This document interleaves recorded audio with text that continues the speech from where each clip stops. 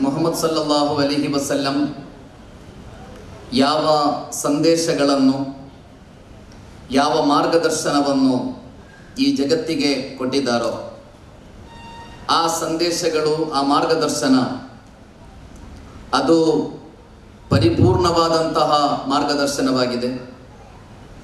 ಅದು ಸಾರ್ವಕಾಲಿಕವಾದಂತಹ ಮಾರ್ಗದರ್ಶನವಾಗಿದೆ. ಮತ್ತು ಅದು ಅಧಿಕೃತವಾದಂತಹ ಮಾರ್ಗದರ್ಶನವಾಗಿದೆ.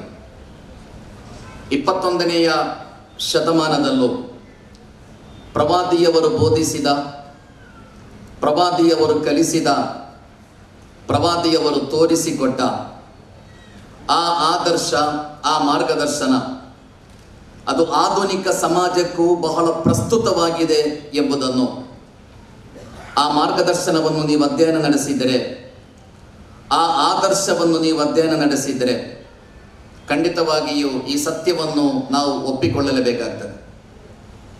ಈ ಜಗತ್ತಿನಲ್ಲಿ ಇಷ್ಟು ಪ್ರಭಾವ ಬೀರಿದ, ಪ್ರವಾದಿ ಮೊಹಮ್ಮದರಷ್ಟು ಪ್ರಭಾವ ಬೀರಿದ, ಅವರನ್ನು ಅನುಸರಿಸುವಂತೆ ಅನುಸರಿಸಲ್ಪಡುವ ಬೇರೊಬ್ಬ ನಾಯಕ ಇಲ್ಲ ಎಂಬುದು ದೊಡ್ಡ ವಾಸ್ತವಿಕತೆಯಾಗಿದೆ. ಪ್ರವಾದಿ ಮೊಹಮ್ಮದ್ ಈ ಜಗತ್ತಿನಲ್ಲಿ ಅತಿ ಹೆಚ್ಚು ಸ್ಮರಿಸಲ್ಪಡುವಂತಹ ನಾಯಕ. ಪ್ರವಾದಿ ಮೊಹಮ್ಮದ್ ಸಲ್ಲಲ್ಲಾಹು ಅಲಿ ವಸಲ್ಲಮರ ಹೆಸರಲ್ಲಿ ಈ ಜಗತ್ತಿನಲ್ಲಿ ಯಾವುದಾದರೂ ಒಂದು ಮಂದಿರ ಇಲ್ಲ. ಅವರ ಒಂದು ಪ್ರತಿಮೆ ಇಲ್ಲ, ಅವರ ಒಂದು ಮೂರ್ತಿ ಇಲ್ಲ. ಅವರ ಹೆಸರಲ್ಲಿ ಯಾವುದೋ ಒಂದು ಕಟ್ಟಡವೋ, ಒಂದು ಸ್ಟ್ರೀಟೋ, ಇದು ಯಾವುದು ಈ ಜಗತ್ತಿನಲ್ಲಿ ಖಂಡಿತ ಇಲ್ಲ. ಆದರೆ ಕೋಟಿಗಟ್ಟಲೆ ಮನುಷ್ಯರ ಹೃದಯದ ಅಂತರಾಳದಲ್ಲಿ ಪ್ರವಾದಿ ಮೊಹಮ್ಮದ್ ಸಲ್ಲಲ್ಲಾಹು ಅಲಿ ವಸಲ್ಲಂ ಇದ್ದಾರೆ. ಅದಕ್ಕೆ ಕಾರಣ, ಅವರು ಇವತ್ತಿಗೂ ಪ್ರವಾ, ಕೋಟಿಗಟ್ಟಲೆ ಮನುಷ್ಯರ ಹೃದಯದ ಅಂತರಾಳದಲ್ಲಿ ಅವರ ಸ್ಮರಣೆ ಜೀವಂತ ಇರಲು ಕಾರಣ, ಅವರ ಪ್ರತಿಮೆಯೋ, ಅವರ ಮೂರ್ತಿಯೋ ಯಾವುದೂ ಅಲ್ಲ. ಯಾವುದೂ ಇಲ್ಲ ಜಗತ್ತಿನಲ್ಲಿ. ಅವರ ಒಂದು ಫೋಟೋ ಇಲ್ಲ ಜಗತ್ತಿನಲ್ಲಿ ಮುಸ್ಲಿಮರ ಕೈಯಲ್ಲಿ. ಅವರು ಸ್ಮರಿಸಲ್ಪಡಲು ಕಾರಣ. ಅವರ ಸ್ಮರಣೆ ಜೀವಂತವಾಗಿರಲು ಕಾರಣ. ಅವರು ಈ ಜಗತ್ತಿಗೆ ಕಲಿಸಿಕೊಟ್ಟ ಆದರ್ಶಗಳಾಗಿವೆ. ಅವರು ಈ ಜಗತ್ತಿಗೆ ಕಲಿಸಿಕೊಟ್ಟ ಮಾರ್ಗದರ್ಶನವಾಗಿದೆ. ಮತ್ತು ಅವರು ಈ ಜಗತ್ತಿನ ಎಲ್ಲ ಮನುಷ್ಯರನ್ನು ಪ್ರೀತಿಸಿದರು ಎಂಬುದು ಕಾರಣವಾಗಿದೆ. ಈ ಜಗತ್ತಿನಲ್ಲಿ ಕೊನೆಯ ತನಕ ಬರುವ ಮನುಷ್ಯರನ್ನು ಪ್ರವಾದಿ ಮೊಹಮ್ಮದ್ ಸಲ್ಲಲ್ಲಾಹು ಅಲಿ ವಸಲ್ಲಂ ಪ್ರಾರ್ಥಿಸಿ, ಪ್ರೀತಿಸಿದರು. ಮತ್ತು ಅವರು ಅವರಿಗಾಗಿ ಪ್ರಾರ್ಥಿಸಿದರು. ಪ್ರವಾದಿ ಮೊಹಮ್ಮದರು ಈ ಜಗತ್ತಿಗೆ ಕೊಟ್ಟ ಬಹಳ ಮೂಲಭೂತವಾದ ಸಂದೇಶ. ಏಕ ಜಗತ್ತು ಮತ್ತು ಏಕ ಮಾನವ ಕುಲ ಎಂಬುದಾಗಿದೆ ನಾವೆಲ್ಲ ಬದುಕುತ್ತಿರುವ ಜಗತ್ತು ಒಂದು. ಈ ಜಗತ್ತಿನಲ್ಲಿ ಬದುಕುತ್ತಿರುವ ಮಾನವ ಕುಲ ಕೂಡ ಒಂದೇ ಆಗಿದೆ, ಒಂದೇ ದೇವನ ಸೃಷ್ಟಿಗಳಾಗಿವೆ. ಇದು ಪ್ರವಾದಿ ಮೊಹಮ್ಮದ್ ಸಲ್ಲಾಹು ಅಲಿ ವಸಲ್ಲಂ ಈ ಜಗತ್ತಿಗೆ ಕಲಿಸಿಕೊಟ್ಟ ಮೂಲಭೂತವಾದ ಆದರ್ಶ. ಪ್ರವಾದಿಯವರು ಈ ಜಗತ್ತಿಗೆ ಅರ್ಥ ಆಗದ ಸಿದ್ಧಾಂತಗಳನ್ನು ಕಲಿಸಿಕೊಡ್ಲಿಲ್ಲ. ಸಂಕೀರ್ಣವಾದ ಯಾವುದಾದರೂ ಫಿಲಾಸಫಿ ಕಲಿಸಿಕೊಡ್ಲಿಲ್ಲ. ಬದಲಾಗಿ ಬಹಳ ಸರಳವಾಗಿ ಅತ್ಯಂತ ಪ್ರಾಯೋಗಿಕವಾದ ಮೌಲ್ಯಗಳನ್ನು, ತತ್ವಾದರ್ಶಗಳನ್ನು ಪ್ರವಾದಿಯವರು ಈ ಜಗತ್ತಿಗೆ ಕಲಿಸಿಕೊಟ್ಟರು. ಅವರು ಕಲಿಸಿಕೊಟ್ಟ ಬದುಕಿನ ಜೀವನ ವಿಧಾನದ ಒಟ್ಟು ಸಾರಾಂಶ ಏನೆಂದರೆ, ನೀವು ಬದುಕುತ್ತಿರುವ ಈ ಜಗತ್ತು ಬಹಳ ವ್ಯವಸ್ಥಿತವಾಗಿ ನಡೆಯುತ್ತಾ ಇದೆ. ಸೂರ್ಯ, ಚಂದ್ರ, ನಕ್ಷತ್ರ, ಗ್ರಹೋಪಗ್ರಹಗಳು. ಎಲ್ಲೂ ಯಾವುದೇ ರೀತಿಯ ಸಂಘರ್ಷಗಳಿಲ್ಲ. ಲಶಂಸ ಎಂಬ ವೈಲಹ. ಅಂತುದರಿಕಲ್ ಕಮರ್ ವಲಲ್ಲೈಲು ಸಾಬಿಕುನ್ ನಹಾರಿ ವಕುಲ್ಲುನ್ ಫಿ ಫಲಕಿನ್ ಯಸ್ಬಹುನ್ ಸೂರ್ಯ ಮತ್ತು ಚಂದ್ರನ ಮಧ್ಯೆ ಘರ್ಷಣೆ ಇಲ್ಲ. ರಾತ್ರಿ ಮತ್ತು ಹಗಲುಗಳ ಮಧ್ಯೆ ಘರ್ಷಣೆ ಇಲ್ಲ. ಎಲ್ಲೂ ಸಂಘರ್ಷಗಳಿಲ್ಲ. ಎಲ್ಲೂ ಗೊಂದಲಗಳಿಲ್ಲ. ಈ ಸಿಸ್ಟಮ್ ಬಹಳ ಸುಂದರವಾಗಿ, ಬಹಳ ಸಂತುಲಿತವಾಗಿ, ಅತ್ಯಂತ ವ್ಯವಸ್ಥಿತವಾಗಿ ಇದು ನಡೆಯುತ್ತಾ ಇದೆ. ಇಲ್ಲಿ ಯಾಕೆ ಸಂಘರ್ಷಗಳಿಲ್ಲ ಅಂದರೆ ಇದೆಲ್ಲವೂ ದೇವನು ತಮಗೆ ಯಾವ ದಾರಿಯನ್ನು ತೋರಿಸಿಕೊಟ್ಟಿದ್ದಾನೋ ಆ ದಾರಿಯನ್ನು ಇವೆಲ್ಲವೂ ಅನುಸರಿಸ್ತಾ ಇದೆ. ಆದ್ದರಿಂದ ಘರ್ಷಣೆಗಳಿಲ್ಲ, ಸಂಘರ್ಷಗಳಿಲ್ಲ.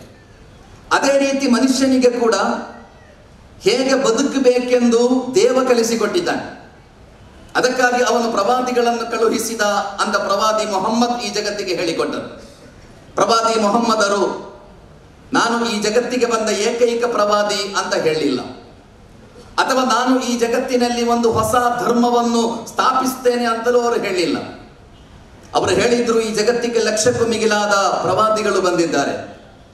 ಆ ಪ್ರವಾದಿಗಳೆಲ್ಲರೂ ಯಾವ ಸತ್ಯವನ್ನು, ಯಾವ ಮಾರ್ಗದರ್ಶನವನ್ನು, ಯಾವ ಧರ್ಮವನ್ನು, ಯಾವ ಜೀವನ ವಿಧಾನವನ್ನು ಮಾನವ ಕುಲಕ್ಕೆ ಕಲಿಸಿಕೊಟ್ಟಿದ್ದಾರೋ, ಅದರ ಪರಿಪೂರ್ಣ ರೂಪವನ್ನು ನಾನು ನಿಮಗೆ ಕಲಿಸಿಕೊಡ್ತಾ ಇದ್ದೇನೆ. ಅವರೆಂದು ಕೂಡ ನಾನು ಏಕೈಕ ಪ್ರವಾದಿ ಅಂತ ಹೇಳಲಿಲ್ಲ ಅಥವಾ ನಾನೊಂದು ಹೊಸ ಧರ್ಮದ ಸಂಸ್ಥಾಪಕ ಅಂತಲೂ ಅವರು ಹೇಳಲಿಲ್ಲ ನನ್ನ ಪೂರ್ವಿಕರಾದ ಮಿಗಿಲಾದ ಪ್ರವಾದಿಗಳು ಯಾವ ಆದರ್ಶವನ್ನು ಈ ಜಗತ್ತಿಗೆ ಕಲಿಸಿಕೊಟ್ಟಿದ್ದಾರೋ, ಯಾವ ಸತ್ಯವನ್ನು ಈ ಜಗತ್ತಿಗೆ ಕಲಿಸಿಕೊಟ್ಟಿದ್ದಾರೋ, ಆ ಸತ್ಯದ, ಆ ಧರ್ಮದ, ಆ ಆದರ್ಶದ ಲೇಟೆಸ್ಟ್ ಅಡಿಷನ್ ನಾನು.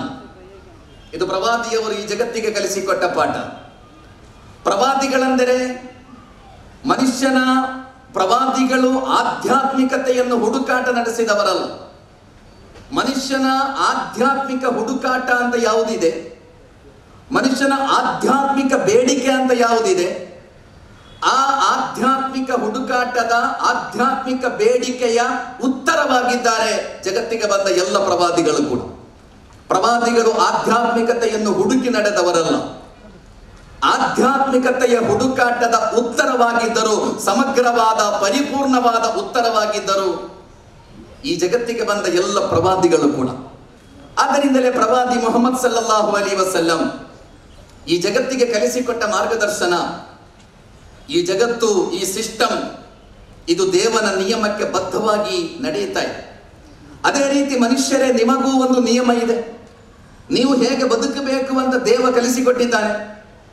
ಆ ನಿಯಮದಂತೆ ನೀವು ಬದುಕುವುದಾದರೆ ಖಂಡಿತವಾಗಿಯೂ ಲಾ ಖೌಫುನ್ ಅಲೈಹಿಂ ವಲಾ ಯಹ್ಸನೂನ್ ಗೊಂದಲಗಳಿಲ್ಲದ, ಸಂಘರ್ಷಗಳಿಲ್ಲದ ಅಸಹನೆ ಇಲ್ಲದ ಸಮಸ್ಯೆಗಳಿಲ್ಲದ ಸಮಾಜವನ್ನು ಕಟ್ಟಿ ಬೆಳೆಸಲು ಸಾಧ್ಯ ಎಂದು ಪ್ರವಾದಿಯವರು ಈ ಜಗತ್ತಿಗೆ ಬೋಧಿಸಿದರು. ಪ್ರವಾದಿ ಮೊಹಮ್ಮದ್ ಸಲ್ಲಾಹು ಅಲಿಹಿ ವಸಲ್ಲಂ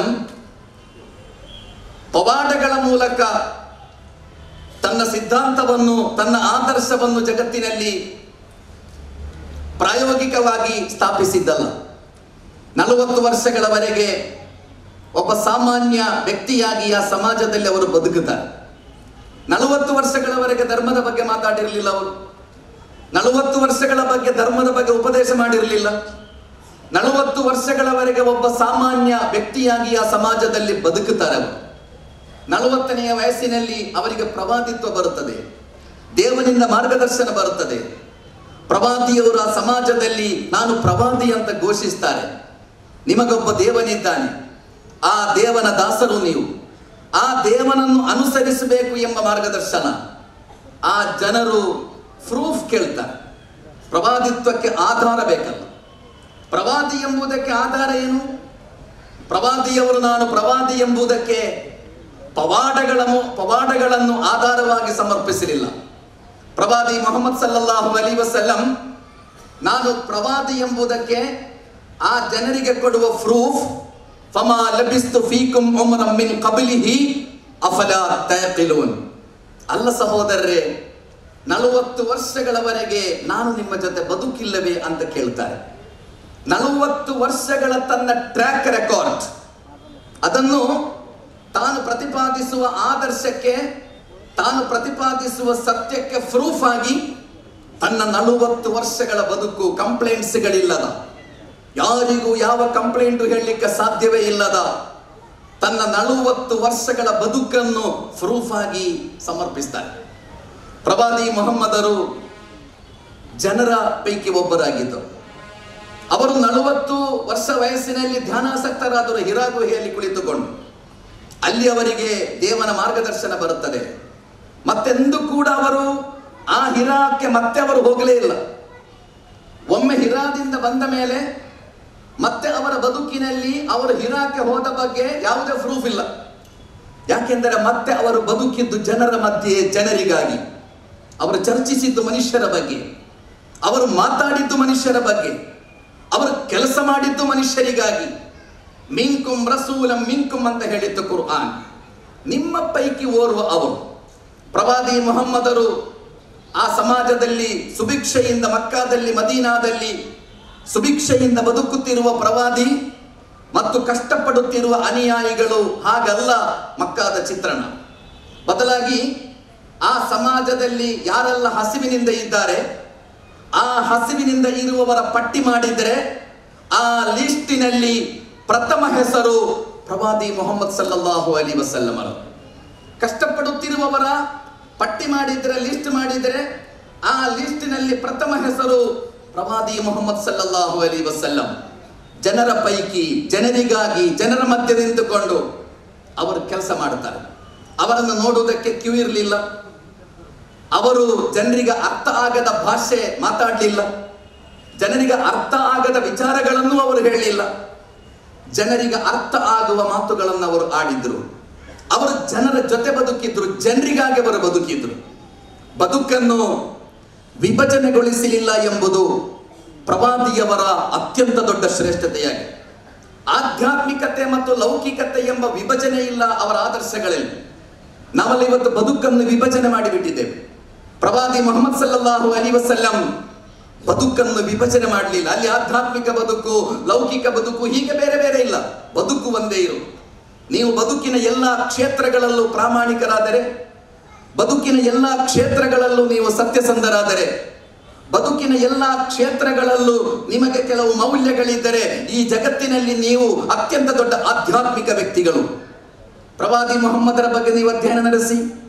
ಈ ಜಗತ್ತಿನಲ್ಲಿ ಬದುಕಿದ ಅತ್ಯಂತ ದೊಡ್ಡ ಆಧ್ಯಾತ್ಮಿಕ ವ್ಯಕ್ತಿ ಯಾರು ಅಂತ ಕೇಳಿದರೆ ಅದಕ್ಕೆ ಪ್ರಾಮಾಣಿಕವಾದ ಉತ್ತರ ಪ್ರವಾದಿ ಮೊಹಮ್ಮದ್ ಎಂಬುದಾಗಿ. ಈ ಜಗತ್ತು ಕಂಡ ಅತ್ಯಂತ ದೊಡ್ಡ ಆಧ್ಯಾತ್ಮಿಕ ವ್ಯಕ್ತಿ.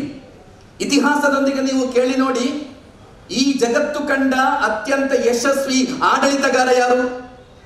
ಈ ಜಗತ್ತು ಕಂಡ ಅತ್ಯಂತ ಯಶಸ್ವಿ ಆಡಳಿತಗಾರ ಪ್ರವಾದಿ ಮೊಹಮ್ಮದ್ ಸಲ್ಲಲ್ಲಾಹು ಅಲಿ ವಸಲ್ಲಂ. ಈ ಜಗತ್ತು ಕಂಡ ಅತ್ಯಂತ ದೊಡ್ಡ ಆಧ್ಯಾತ್ಮಿಕ ವ್ಯಕ್ತಿಯವರು ಈ ಜಗತ್ತು ಕಂಡ ಯಶಸ್ವಿ ಆಡಳಿತಗಾರ. ಈ ಮಣ್ಣಿನಲ್ಲಿ ಬದುಕಿದ ಅತ್ಯಂತ ಯಶಸ್ವಿ ಬಿಸ್ನೆಸ್ ಮ್ಯಾನ್ ಈ ಜಗತ್ತಿನ ಈ ಮಣ್ಣಿನಲ್ಲಿ ಬದುಕಿದ ಅತ್ಯಂತ ಯಶಸ್ವಿ ನಾಯಕ.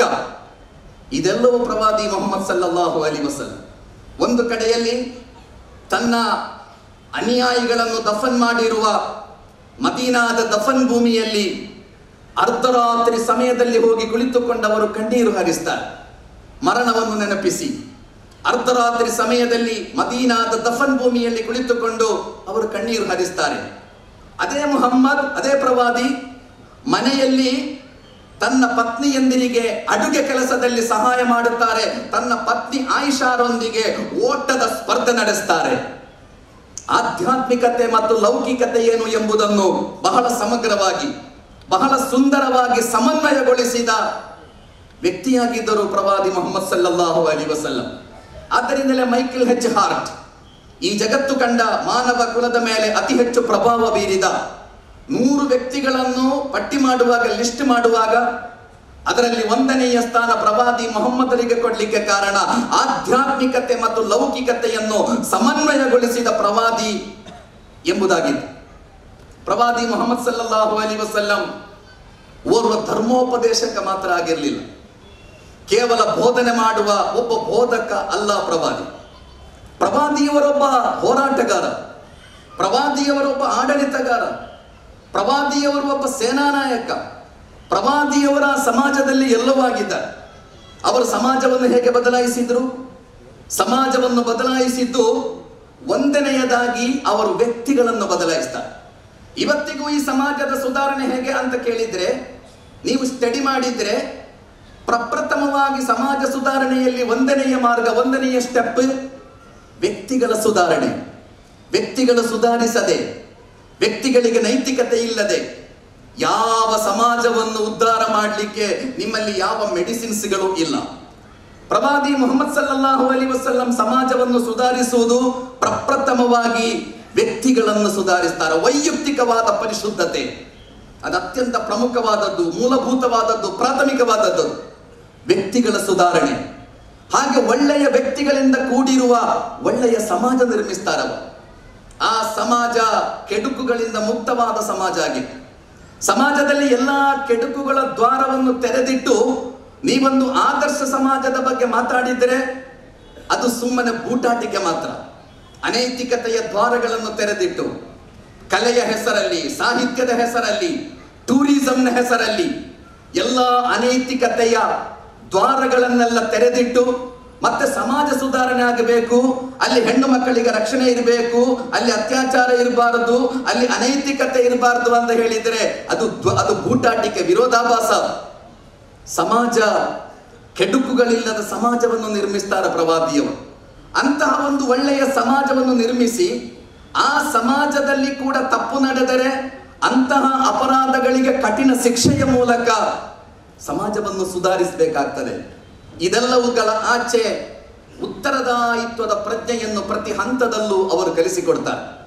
ಅಕೌಂಟಬಿಲಿಟಿ ನೀವು ಉತ್ತರಿಸಬೇಕು. ನಿಮ್ಮ ಬದುಕಿನ ಬಗ್ಗೆ ನೀವು ಉತ್ತರ ಕೊಡಲೇಬೇಕು. ಉತ್ತರ ಕೊಡಲೇಬೇಕು ನೀವು. ದೇವನ ನ್ಯಾಯಾಲಯದಲ್ಲಿ ಖಂಡಿತವಾಗಿಯೂ ನಿಮ್ಮ ಬದುಕಿನ ಪ್ರತಿ ಚಟುವಟಿಕೆಗಳಿಗೆ ನೀವು ಉತ್ತರಿಸಬೇಕಾಗಿದೆ ಎಂಬ ಅಕೌಂಟಬಿಲಿಟಿಯ ಉತ್ತರದಾಯಿತ್ವದ ಪ್ರಜ್ಞೆಯೊಂದಿಗೆ ಅವರೊಂದು ನಾಗರಿಕತೆಯನ್ನು ಕಟ್ಟಿ ಬೆಳೆಸ್ತಾರೆ.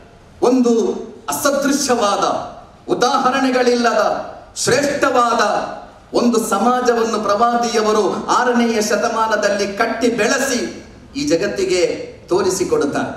ಆ ಮಾರ್ಗದರ್ಶನದಲ್ಲಿ ಆ ಆದರ್ಶದಲ್ಲಿ ಇವತ್ತಿಗೂ ಕೂಡ ಸಮಾಜವನ್ನು ಬದಲಾಯಿಸುವ ಶಕ್ತಿ ಇದೆ ಎಂಬುದು ಆ ಇತಿಹಾಸವನ್ನು ಪ್ರವಾದಿಯವರ ಬದುಕನ್ನು ಪ್ರವಾದಿಯವರ ಸಂದೇಶಗಳನ್ನು ತಿಳಿದರೆ ನಮಗೆ ಅರ್ಥ ಮಾಡಬಹುದಾಗಿದೆ तो जमात इस्लामी हिंद एक all India socio religious organisation है और वो पूरे देश के अंदर भी प्रोग्राम और इस तरह के अभियान चलाती है और उसका सबसे बड़ा लक्ष्य उद्देश्य ये है कि मानव को सुधारा जाए और उसे अल्लाह का बंदा बनाया जाए। उसे पूरे समाज का सेवा करने वाला और सबके साथ प्रेम से, भाईचारा से रहने वाला बनाया जाए। तो व्यक्ति का सुधार परिवार का सुधार है, परिवार का सुधार समाज का सुधार है। अब प्रश्न ये है कि व्यक्ति कैसे सुधरता है? आप देखिए, ये दुनिया का सबसे मुश्किल काम। बिल्डिंग बनाना मुश्किल नहीं है। बहुत अच्छी अच्छी सड़कें बनाना कोई मुश्किल काम नहीं है। बहुत एक्सपर्ट इंजीनियर्स हैं और बड़े बड़े डॉक्टर्स हैं साइंटिस्ट हैं और बड़े बड़े इतिहासकार सब लोग हैं। परंतु पैगंबर इन कामों के लिए नहीं आता। पैगंबर इसलिए आता है कि वो दुनिया के इस सबसे बड़े मुश्किल काम को वो करके दिखाए व्यक्ति का सुधार। एक नया व्यक्ति, एक नया परिवार, एक नया समाज, एक नया सिस्टम स्थापित करके वो मानव को मार्गदर्शन देता है। पैगंबर कौन होता है? पैगंबर सोशल रिफॉर्मर नहीं होता सोशल एक्टिविस्ट नहीं होता, पैगंबर समाज का चिंतक नहीं होता, पैगंबर कोई सूफी संत नहीं होता, पैगंबर अल्लाह जगदेश्वर की ओर से नियुक्त होकर मानव के सामने आता है और ऐलान करता है डिक्लेयर करता है कि मैं अल्लाह का पैगंबर हूँ। मुझे अल्लाह ने तुम्हारे लिए भेजा है। और अल्लाह का जो संदेश, उसका जो मार्गदर्शन, उसकी जो शिक्षाएँ हैं मनुष्य को मनुष्य बनाने के लिए, मानवता, उसके जीवन में आध्यात्मिकता और नैतिकता लाने के लिए, उसी कारण के लिए मुझे भेजा गया है। मैं तुम्हारे पास आया हूँ। ये एक बहुत बड़ा प्रश्न है हमारे सामने कि पैगंबर के साथ हमारा संबंध क्या है? पैगंबर की पोजीशन ये है कि वो इस धरती के ऊपर अल्लाह की ओर से नियुक्त किया हुआ नुमाइंदा है। देखिए, कुरान कहता है, मैं युति रसूल फ़कत अता अल्लाह। जिसने पैगंबर की फर्माबरदारी ओबीडियंट बना, उसने अल्लाह, जगदेश्वर की पैरवी की, या उसका अनुसरण किया, या उसकी वो ओबीडियंट बना। तो पैगंबर को मानना अल्लाह को मानना है। पैगंबर का इनकार करना, अल्लाह ईश्वर का इनकार करना है। ये पोजीशन पैगंबर की बनती है। तो इससे आप समझ सकते हैं कि पैगंबर की पोजीशन उसका स्टेटस कितना ऊँचा होता है। अगर कोई सोशल रिफॉर्मर समाज में आकर अच्छा काम करते हैं तो हम उससे लाभ ज़रूर उठाएँगे। अगर उनको हम न माने, उनका आदर करना अवश्य है तो भी हमारे लिए कोई मुश्किल नहीं है, कोई बड़ी समस्या नहीं है। इसी प्रकार से कोई फिलोसोफर कोई थिंकर समाज के अंदर आए, अच्छे अच्छे विचार पेश करें। हम उनको माने या ना माने, कोई फ़र्क नहीं पड़ता।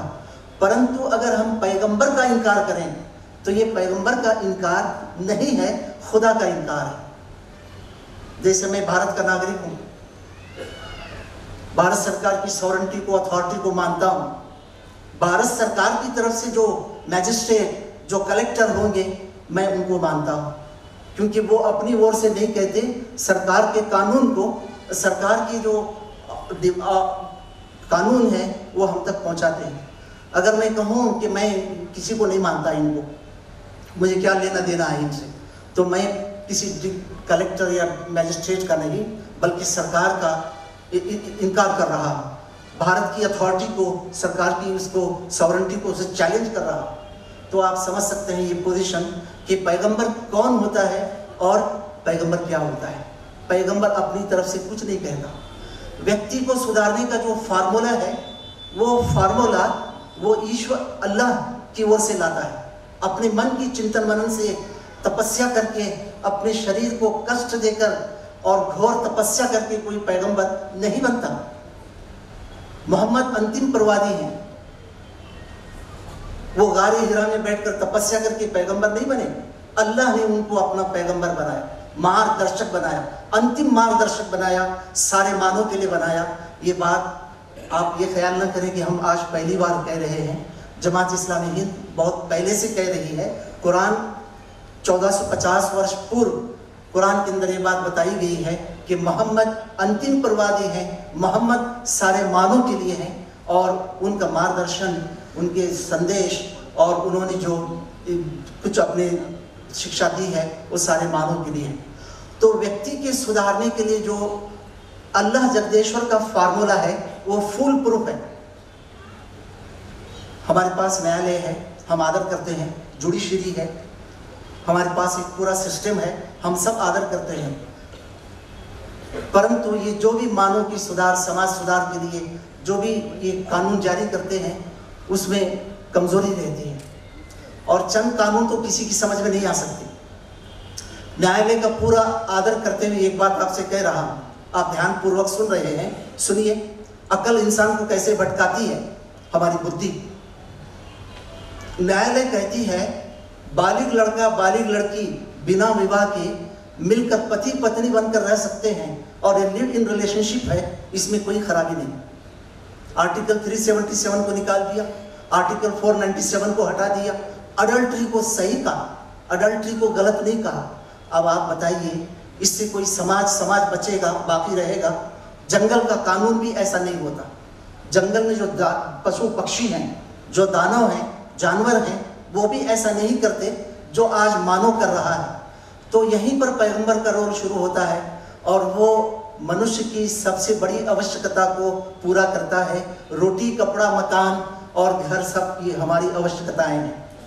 परंतु ये आवश्यकताओं से बढ़कर हमारे लिए जो आवश्यकता है, वो ये है कि मैं अपने पैदा करने वाले, जीवन प्रदान करने वाले अल्लाह जगदेश्वर की इच्छा को कैसे पूरा करूँ? मेरे जीवन में सही क्या है? मेरे जीवन में गलत क्या है? मेरे लिए रास्ता कौन सा है? और कौन सा रास्ता गलत है? मृत्यु क्या है? मृत्यु के बाद मैं कैसे सफलता, मोक्ष पाऊँगा? स्वर्ग क्या है? नर्क क्या है? ये सारी बातें सत्यता ऑथेंटिसिटी अल्लाह के सैंक्शन के साथ पैगंबर बताता है, जो कोई दूसरा बता नहीं सकता। तो मोहम्मद सल्लल्लाहु अलैहि वसल्लम ने आज से 1450 इयर्स एगो यही काम किया। उनका सबसे बड़ा अचीवमेंट हिस्टोरिकल एविडेंस है। वो इतिहास के पूरे प्रकाश में आए। मोहम्मद साहब, उनकी संदेश, उनकी शिक्षा, कोई मैथोलॉजी नहीं है, कोई स्टोरी नहीं है, वो पूरी तरह से इतिहास के प्रकाश में आए, हर चीज़ रिकॉर्डेड है। तो उन्होंने सबसे पहले मनुष्य के व्यक्तिगत और सामूहिक जीवन में अल्लाह सृष्टिकर्ता के साथ उसके संबंध को ठीक किया। रिलेशन अल्लाह कौन है? मानो कौन है? दोनों के बीच में रिलेशन क्या है? उस रिलेशन के तकाजे क्या है? नंबर दो, उन्होंने मानव और मानव के बीच में रिलेशन को ठीक किया और बताया कि एक मनुष्य समाज में रहते हुए पति, पत्नी और अपने माता पिता अपने पड़ोसी, अपने दूसरे समाज के लोग, अपने एक फेत के रहने वाले, दूसरे फेत आस्था को मानने वाले, इन सब के साथ प्रेम से, भाईचारा से, मानवता से वो कैसे रहे? तो दो बातों पर व्यक्ति का सुधार निर्भर करता है। व्यक्ति का रिलेशन सृष्टिकर्ता अल्लाह ईश्वर के साथ ठीक हो जाए और वो रिलेशन के तकाजे पूरा करे। व्यक्तिगत जीवन में भी, सामूहिक जीवन में भी। और नंबर दो, व्यक्ति का संबंध दूसरे मानव से अपने ही घर में माता पिता के साथ और पत्नी बच्चों के साथ, पड़ोसियों के साथ, अपने परिवार के साथ और सारे इंसानों के साथ ठीक हो। भाइयों और बहनों, मैं इससे आगे की बात आपको बताऊँ। पैगंबर इतना ही नहीं बताता। पैगंबर ये बताता है कि एक व्यक्ति को पशु पक्षियों के साथ, परिंदों के साथ और जो हैवानात हैं, एनिमल्स, उनके साथ कैसा रहना चाहिए? पैगंबर ये भी बताता है। तो पैगंबर जो ये बताता है, इसे मार्गदर्शन कहते हैं। Divine guidance divine guidance guidance foolproof है। उसमें कोई गलती नहीं हो सकती। वो टाइम और स्पेस से ऊपर है। वो किसी युग के लिए, किसी काल के लिए, किसी देश के लिए, किसी मानव समुदाय के लिए नहीं है। वो सदा के लिए है और महाप्रलय काल तक के लिए है और उसके अंदर कभी कोई कमज़ोरी आप नहीं देख सकते। आज सारे इज्म, सारे ideologies man made philosophies fail हो चुके हैं। मनुष्य को बनाने में न भारत में सफलता मिली है, न पूरे विश्व में कहीं सफलता मिली है। हम नाकाम हो चुके हैं। अब समय आ गया है कि हम मोहम्मद सल्लल्लाहु अलैहि वसल्लम की जो उनकी जो मार्गदर्शन है और उनकी जो शिक्षाएँ हैं, उस पर हम गौर करें। मैं आपको बहुत संक्षिप्त में बताऊँगा कि उन्होंने क्या संदेश और मानव को क्या मार्गदर्शन दिया है। तीन मोटी बातें हैं। सबसे पहले उन्होंने ये बताया कि हमें अपने पूरे जीवन में अल्लाह का बंदा बनकर रहना है। मतलब ये है कि उन्होंने पूजा पाठ और अल्लाह जगदेश्वर की भक्ति के कंसेप्ट को बदल दिया। उन्होंने बताया धर्म, नीति पद्धति का नाम नहीं है। उन्होंने बताया कि धर्म पूर्वजों से चले आने वाली कस्टम्स ट्रेडिशंस का नाम धर्म नहीं है। उन्होंने एक टर्म उपयोग किया है, दीन अदीन दीन और अदीन का मतलब है एक परिपूर्ण, संपूर्ण जीवन व्यवस्था। और एक कोड ऑफ़ कंडक्ट एक सिस्टम ऑफ़ लाइफ एक कोड ऑफ़ कंडक्ट पैगंबर साहब ने धर्म का मतलब ये बताया। और दूसरी बात उन्होंने बताई अल्लाह से संबंध के बारे में और उसकी पूजा पाठ, उसकी भक्ति के बारे में। उन्होंने ये बताया कि तुम बंदे हो। ये पूरे ब्रह्मांड में यूनिवर्स में कोई ऐसी जगह तुम नहीं बता सकते जहाँ अल्लाह जगदेश्वर नहीं है और तुम उसके बंदे नहीं हो। तुम नहीं बता सकते। तो तुमको अपनी पूरी जीवन में सबमिशन और टोटल सरेंडर करना चाहिए अल्लाह की इच्छा के आगे। यही उसके साथ तुम्हारा सही संबंध है। भाइयों, हमने क्या किया? हमने अल्लाह जगदेश्वर को, भगवान को मंदिर में, मस्जिद में, गुरुद्वारा में, चर्च में सिनेगॉग में बिठा दिया है। और उसको बोला है कि बाहर मत आइए आप। आप बाहर आपकी आवश्यकता ही नहीं है। हम आपके पास आते रहेंगे, पूजा पाठ करेंगे। मुसलमान पाँच वक्त की नमाज़ पढ़ लेगा मस्जिद में। हमारे सिख भाई गुरुद्वारा जाएँगे, थोड़ा सा उसको याद करेंगे अल्लाह ईश्वर भगवान को। और चर्च में भी यही होगा। आज आप बताइए, हमारे शैक्षणिक जीवन में, हमारे कल्चरल जीवन में, हमारी आर्थिक भौतिक जीवन में, और हमारे सामाजिक जीवन में, हमारे राजनीतिक जीवन में कहीं अल्लाह है, अल्लाह नहीं है। अल्लाह जगदेश्वर कहीं भी नहीं है। वो मस्जिद में है मंदिर में है, गुरुद्वारा में है, चर्च में है, उसके बाहर आने की परमिशन हम नहीं दे रहे हैं। हम कह दें कि आप वहीं रहें। हम आपकी सेवा में आते रहेंगे और आपकी पूजा पाठ और नमाज़ आपकी पढ़ते रहेंगे। पाँच दफ़ा की नमाज़ ज़रूर पढ़ेंगे। तो ये कन्फ्रंटेशन कि हमारे जीवन के थोड़े से पार्ट में, एक दिन भर में एक घंटा मुश्किल से हम अल्लाह को अल्लाह मानकर चलते हैं। बाकी तेईस घंटा हमारा 23 आवर्स जीवन में अल्लाह के बागी अल्लाह के नाफरमान बने हैं। व्यक्ति इससे सुधर नहीं सकता, समाज का निर्माण नहीं हो सकता, कोई देश बन नहीं सकता, वो आध्यात्मिक और नैतिक रूप से नीचे जाएगा। आज हमारे रॉकेट, मिसाइल आकाश में है, सेटेलाइट आकाश में है। हमारा कैरेक्टर पाताल में। टॉइन बी ने विश्व की 26 सिविलाइजेशंस का अध्ययन किया। अध्ययन करके ट्वाइन बी ने बताया most of the world civilisations were destroyed on the rock of material progress मैं रिपीट करता हूँ most of the world civilisations were destroyed on the rock of material progress तो मटेरियल प्रोग्रेस समाज सुधार नहीं है। मटेरियल प्रोग्रेस के साथ संतुलन में आध्यात्मिक और नैतिक रूप से हम ऊपर उठे ऊपर उठे ऊपर उठे, ये समाज सुधार है। तो इसके लिए मोहम्मद सल्लल्लाहु अलैहि वसल्लम ने अल्लाह के साथ हमारा संबंध बताया कि हम उसके बंदे हैं। वो हमारा सृष्टिकर्ता, रचयिता, निर्माता है।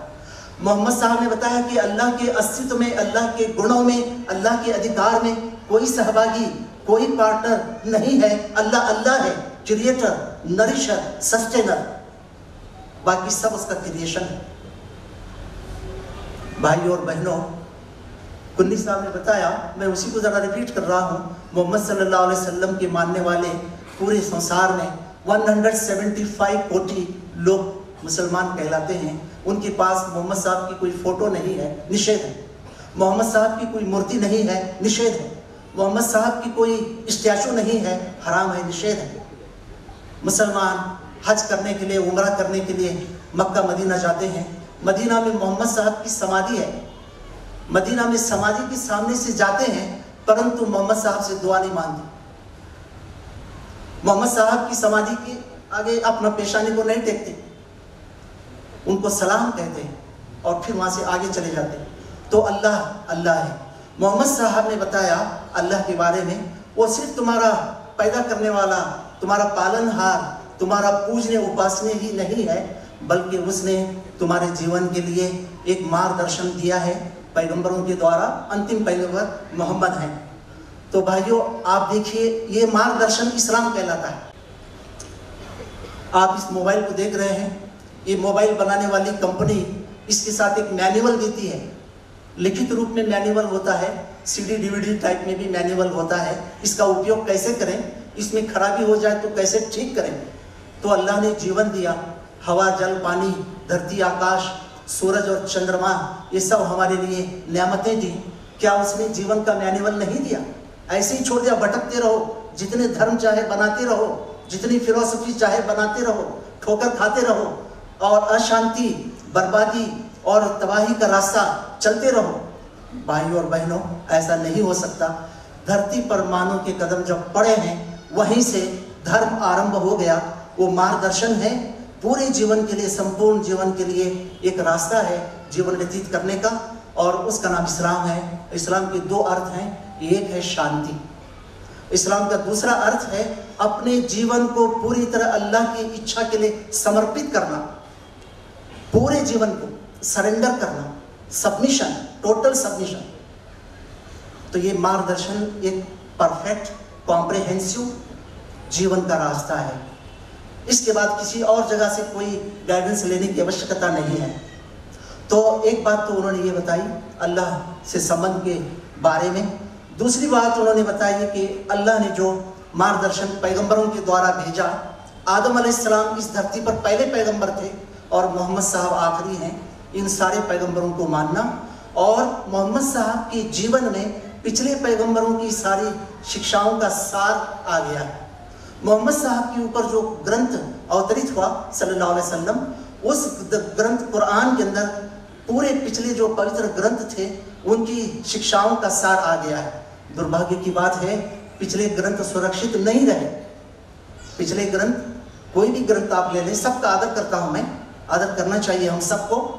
ग्रंथ सुरक्षित नहीं है। धर्म गुरु आए और महान पुरुष आए, उनकी संदेश, उनका शिक्षा, उनकी शिक्षा क्या थी? वो भी सुरक्षित नहीं है। इससे आपके सामने दो बातें स्पष्ट होती हैं। एक बात तो ये है कि सारे धर्म गुरुओं को छोड़कर, सारे ग्रंथों को छोड़कर मोहम्मद साहब ही क्यों? उन्हीं की अनुसरण क्यों करें? उन्हीं को क्यों स्वीकार करके आगे बढ़े? बहुत सारे धर्म गुरु और भी हैं, ग्रंथ और भी हैं। तो कुरान अंतिम ग्रंथ है। सारे ग्रंथों का सार, समरी उसके अंदर आ गया। कुरान को मानने का मतलब है, पिछले सारे ग्रंथों को हम मानते हैं। कुरान का इनकार करने का मतलब है, किसी ग्रंथ को हम नहीं मानते। किसी ग्रंथ को हम नहीं मानते। तो ये पोजीशन बनती है, इस पर आप चिंतन मनन करें, सोच विचार करें। मोहम्मद साहब की जबान से अल्लाह ने कहलवाया, कुरान में फमन शाह वमन पैगंबर मोहम्मद, आप मानो को बताइए कि लोगों, मैं जो कुछ तुम्हारे सामने सत्य को प्रस्तुत कर रहा हूँ। मेरे चिंतन मनन, मेरी बुद्धि, मेरी तपस्या का वो रिज़ल्ट नहीं है। अल्लाह तुम्हारा रब है, मेरा भी रब है। उसकी तरफ़ से ये सब तुम्हारे सामने मैं प्रस्तुत कर रहा हूँ। तुम चाहे स्वीकार करो, चाहे अस्वीकार करो। भाई और बहनों, सत्य की कोई सीमा नहीं होती। मैं रिपीट करता हूँ, सत्य की कोई सीमा नहीं होती। सत्य अगर जापान, चाइना से आ रहा है या सत्य अगर अमेरिका से आ रहा है तो हम ये नहीं कह सकते हम भारतीय हैं।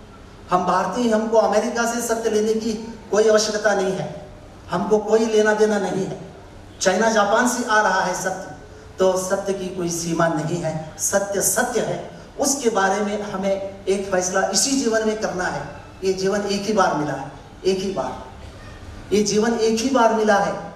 इसी जीवन में मृत्यु के आने से पहले पहले मोहम्मद साहब के बारे में, उनकी संदेश शिक्षाओं के बारे में स्वीकार करें या न करें, ये आपके ऊपर है।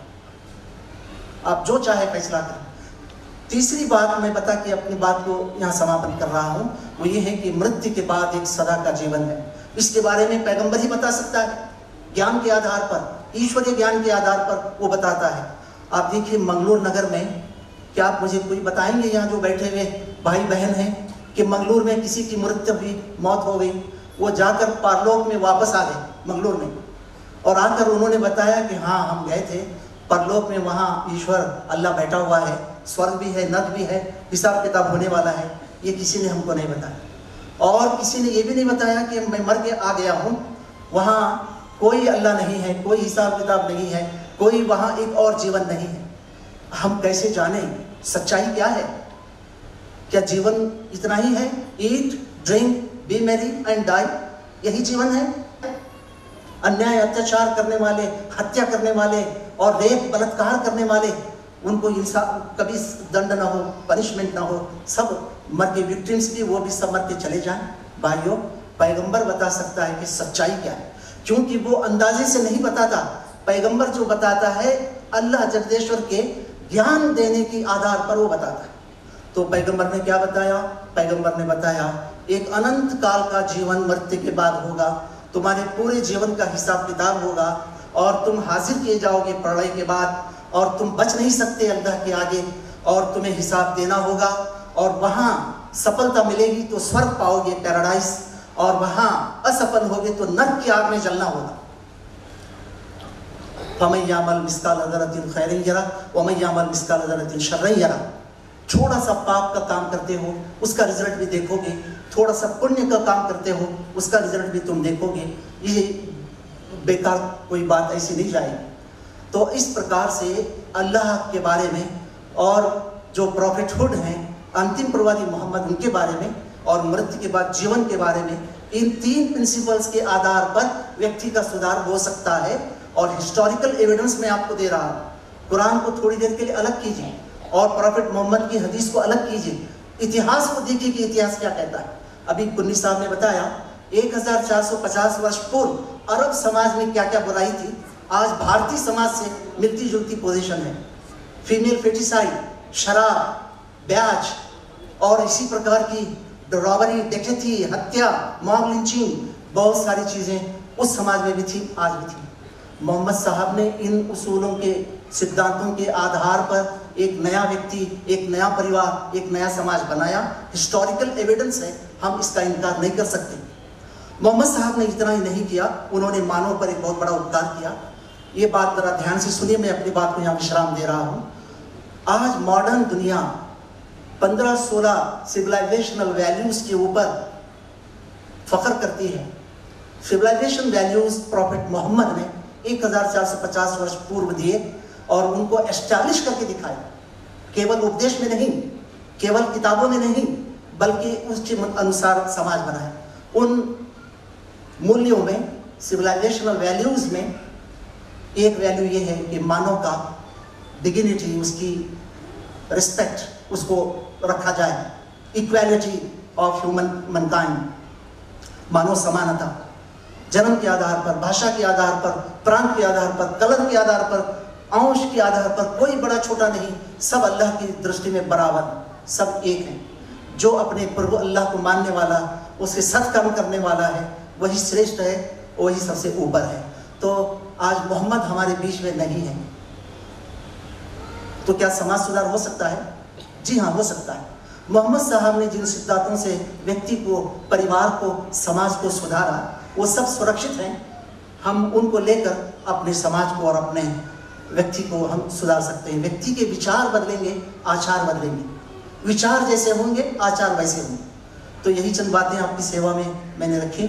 जमात इस्लामी हिंद का इस वक्त कर्नाटक राज्य में, पूरे नगरों में ये प्रॉफिट मोहम्मद के जीवन संदेश के बारे में प्रोग्राम हो रहे हैं। मैं आप सबका बहुत बहुत धन्यवाद करता हूँ और अल्लाह ईश्वर से प्रार्थना करता हूँ।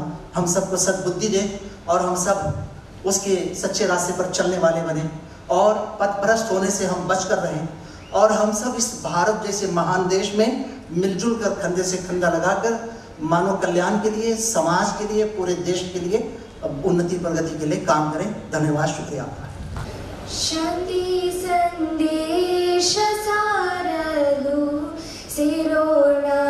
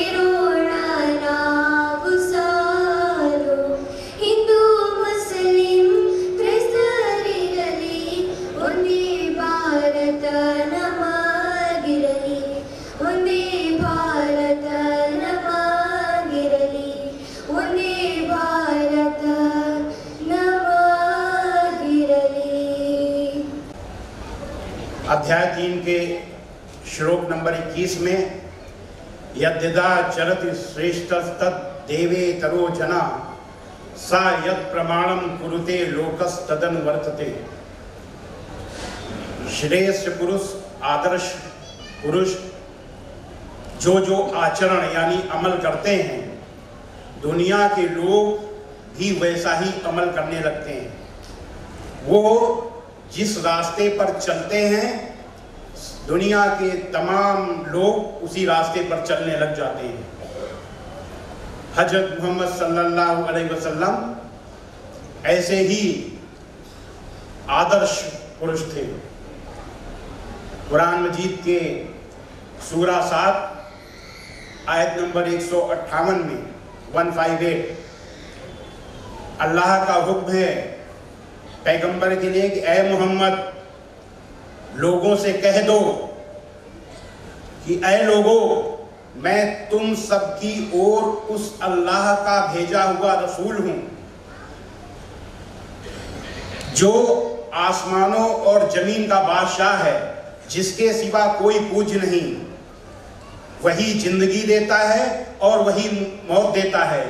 तो उस अल्लाह पर और उसके रसूल पैगंबर उम्मी पर जो अल्लाह और उसके सभी आदेशों पर विश्वास करता है, विश्वास लाओ ताकि सही रास्ता एक समय में कुछ कारणों से कुरान को लेकर मैं भ्रमित हुआ था और मैंने किताब लिखी थी इस्लामिक आतंकवाद का इतिहास, the history of Islamic terrorism उसके बाद ईश्वर की प्रेरणा से मैंने आपकी जीवनी पढ़ी। जीवनी पढ़ने के बाद मुझे कुरान की व्याख्या यानी तफसीर, यानी उसका एक्सप्लेनेशन अगर अंग्रेज़ी के कोई शब्द गलत हो जाए तो माफ़ करिएगा। तो वो मुझे सही पता चला और जब मुझे सही तफसीर पता चली, सही उसकी व्याख्या पता चली, तब मैंने अपनी इस किताब को नल एंड वाइट डिक्लेयर किया, यानी अमान्य घोषित कर दिया। और एक दूसरी किताब, एक दूसरी किताब लिखी, इस्लाम आतंक या आदर्श, यानी इस्लाम में आतंक नहीं, आदर्श है।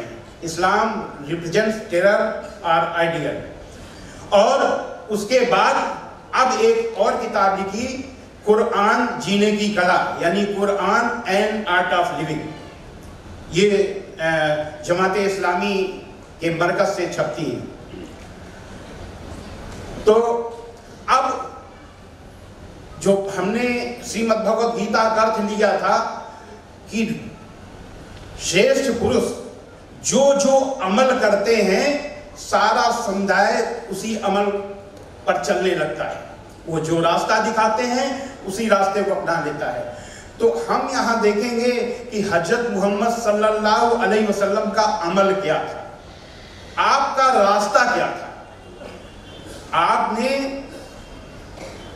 आदर्श दिखाया, सत्य और अहिंसा का। और पाँच बुराइयों से दूर रहने को कहने से पहले पाँच, उन पाँच बुराइयों से खुद दूर हुए। वो बुराइयाँ काम, क्रोध, मद, लोभ, मोह। तो पहले हम सत्य और अहिंसा लेते हैं। हज़रत मोहम्मद सल्लल्लाहु अलैहि वसल्लम ने दुनिया का सबसे बड़ा सत्य, ला इलाहा इल्लल्लाह, परमेश्वर के सिवा कोई पूज्य नहीं है। ये दुनिया के लोगों को बताया। लेकिन इसको बताने में बहुत ही कठिनाइयों का सामना करना पड़ा। उस समय आप ही के कबीले के लोग आपके विरोधी हुए। आपको तरह तरह से सताया गया, अपमानित किया गया। आपके अनुयायियों को मक्का के इतने गर्म तप, माहौल में मक्का की तपती रेत में भूखा प्यासा नंगा लिटाया गया और ये भयानक अत्याचार एक साल, दो साल नहीं, लगातार तेरह सालों तक चलता रहा। इसके बाद भी धन्य है हज़रत मोहम्मद सल्लल्लाहु अलैहि वसल्लम, जिन्होंने सब्र करने के लिए अपने अनुयायियों से कहा कहा, सब्र करो, सब्र करने वालों के साथ अल्लाह है।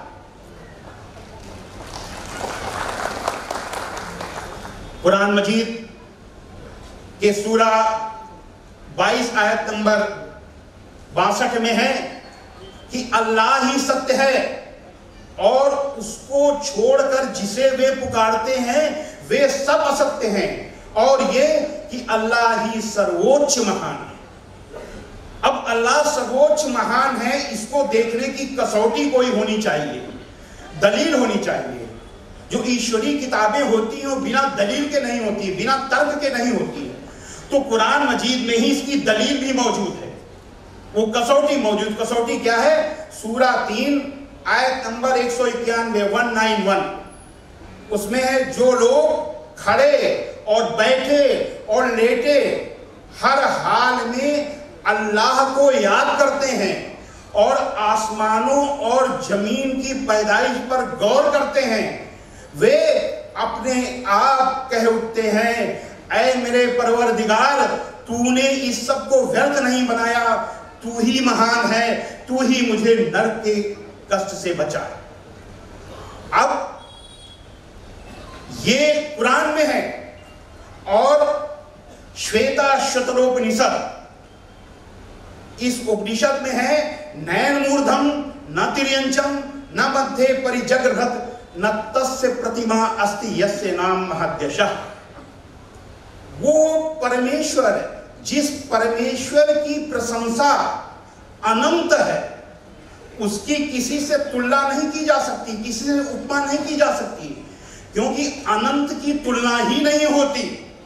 और उस अनंत परमेश्वर की अनंत रचना इतनी बड़ी है, इतनी महान है, कि उसका ओर छोर मध्य पता नहीं किया जा सकता, उसको छुआ नहीं जा सकता। ये श्वेता शतरोपनिषद में है। तो दोनों कसौटियाँ हैं, देखते हैं। अब आप आसमान की तरफ़ रात में देखिए, अल्लाह का हुक्म है कि आप पैदाइश पर गौर करिए, ब्रह्मांड की पैदाइश पर गौर करिए। हमारा सूरज एक तारा है और इस ब्रह्मांड में अनंत तारे हैं, अनंत सूरज है। जो सूरज हमारे सूरज से भी लाखों गुना बड़े हमारी, हमारा सूरज जिस गैलेक्सी में है, उस गैलेक्सी में 200 अरब सूरज हैं, जो इससे छोटे भी हैं और बहुत बड़े बड़े भी हैं। और ऐसी गैलेक्सी यानी ए हमारी गैलेक्सी में 200 अरब सूरज, और ऐसी गैलेक्सी अभी तक लगभग 200 अरब देखी जा चुकी है। और ये देखी जा चुकी है, ये ये पैमाना नहीं है। एक अरब में 200 सूरज और 200 अरब सूरज और ऐसी गैलेक्सी ही दो 200 अरब। और ये है कितना लंबा, कितना विशाल, कहाँ तक हम देख चुके अपने इंसान कहाँ तक देख चुका? जो आखिरी गैलेक्सी है, वो आखिरी गैलेक्सी तेरह अरब साठ करोड़ प्रकाश वर्ष देखी गई। अब प्रकाश वर्ष क्या है?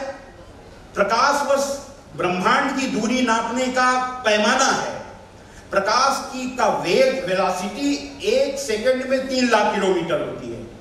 यानी एक घंटे में एक अरब आठ करोड़ किलोमीटर जाता है प्रकाश, एक घंटे में। एक दिन में 25 अरब बानवे करोड़ किलोमीटर जाता है और एक साल में 9460 अस्सी करोड़ 9460 अरब 80 करोड़ किलोमीटर जाता है। तो जो एक साल में चली दूरी, यही प्रकाश वर्ष है। तो 9460 अरब और 80 करोड़ किलोमीटर, ये सुनने के बाद लगता है हाँ होगा। लेकिन इसको थोड़ा सा और इस पर गहराई पे जाना पड़ेगी, है कितना, उसको थोड़ा तुलना करनी पड़ेगी। हम हवाई जहाज़ से आप जाते हैं 900 किलोमीटर अधिक से अधिक रफ्तार होती है, इसको 1000 किलोमीटर मान लीजिए। तो हवाई जहाज़ से हम दुनिया के एक कोने से दूसरे कोने में जाना चाहें, हवाई जहाज़ बिना रुके अगर चलता रहे तो 24 घंटे से कम समय में हम दुनिया के एक कोने से दूसरे कोने में जा सकते हैं। लेकिन इसी हवाई जहाज़ को बिना रुके अगर एक प्रकाश वर्ष दूरी तय करनी पड़े तो एक हज़ार किलोमीटर की रफ्तार से इसको दस लाख अस्सी हज़ार साल लगेंगे। ये एक प्रकाश वर्ष दूरी इतनी होती है। तो इतनी, और दूरी देखी, ये एक प्रकाश वर्ष इतना है कि हम अगर जहाज़ बैठ जाए एक हज़ार किलोमीटर की तो दस लाख अस्सी हज़ार साल तक लगातार चलते रहे, तब एक प्रकाश वर्ष दूर जाएँगे। और कितनी दूर देखा, देखी गई गैलेक्सी तेरह अरब साठ करोड़ प्रकाश वर्ष दूर। ये देखी गई है, ये ये ये अंत नहीं है। हमने बताया श्वे- श्वेता शतरोपनिषद में है कि ओर छोर बीच आप ना तो पहचान सकते हैं, ना उसको छू सकते हैं। मतलब वहाँ जा नहीं सकते। ये, और यही अल्लाह का भी हुक्म है कि गौर करिए उस पर, तब अल्लाह की महानता आपको समझ में आएगी। तो अब इस महान, इस अनंत रचना में, जिसमें अनंत सूरज है, जिसकी तुलना एस्ट्रोफिजिक्स में की गई है, कि अगर तारों को तुलना की जाए, तारों की समुद्र की रेत से, हमारे, हमारी धरती में सत्तर फ़ीसदी समुद्र है, और इसमें जितनी रेत है, उसको सबको गिन लिया जाए, इससे भी कई गुना ज़्यादा तारे अभी तक देखे गए हैं। तो इस महान अनंत रचना को बनाने वाला अपने आप छोटा सा बच्चा समझ जाएगा कि कोई इंसान नहीं हो सकता। क्यों? कि इस अनंत ब्रह्मांड में हमारे सूरज की गणना ना के बराबर है और हमारी पृथ्वी शून्य की तरह है, पृथ्वी। तो इस धरती में पैदा हुआ कोई इंसान जब पृथ्वी की तुलना ही, पृथ्वी का अस्तित्व ही शून्य की तरह है तो इस पृथ्वी में पैदा हुआ कोई इंसान, उसकी क्या हैसियत है? और क्या हुआ इंसान जो यहाँ पैदा हुआ, बड़ा हुआ, बूढ़ा हुआ और मर गया? क्या वो इस ब्रह्मांड का रचयिता यानी ईश्वर है? एकदम साफ़ समझ में आ जाता है कि नहीं नहीं नहीं। ब्रह्मांड का रचयिता यहाँ पैदा हुआ कोई एक अदना सा इंसान नहीं हो सकता, क्योंकि उसकी तो मृत्यु हो गई। और ये ब्रह्मांड अनंत काल तक चलना है। तो ईश्वर मर गया। ईश्वर मर गया। ईश्वर की रचना है। ये कैसे संभव है? ये मूर्खतापूर्ण चीज़ और कुछ नहीं है। इसीलिए कहा अल्लाह ने हुक्म दिया कि अगर ये समझना है तो इस पे गौर करो। अपने आप कहने लगोगे, अल्लाह अकबर। अल्लाह सबसे बड़ा है। अपने आप उसे निकल जाएगा तो इसी ला इलाहा इल्लल्लाह, इसीलिए हज़रत मोहम्मद सल्लल्लाहु अलैहि वसल्लम ने यूनिवर्सल ट्रुथ को बताया कि उस ईश्वर के सिवा कोई पूज नहीं है जो इस तमाम अनंत ब्रह्मांड का रचयिता है। तो ये सत्य को, ये सत्य। अब अहिंसा, किस अहिंसा को बताया? कुरान मजीद में मनसा वाचा कर्मणा अहिंसा है। मन मन से अहिंसा क्या है? सूरा 28 आयत नंबर तिरासी में है कि अल्लाह वादा कर रहा है लोगों से कि हम आखिरत, यानी जन्नत का घर, उन लोगों के लिए खास तौर से देंगे जो धरती में जुल्म और फसाद करने का इरादा नहीं रखते मन में सोचते तक नहीं।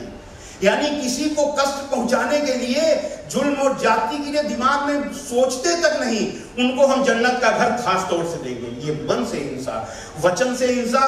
कुरान मजीद की सूरा इकतालीस, आयत नंबर चौतीस में है, भलाई और बुराई बराबर नहीं हो सकती तो लोगों की सख्त बातों का ऐसे तरीके से जवाब दो, जो बहुत अच्छा हो।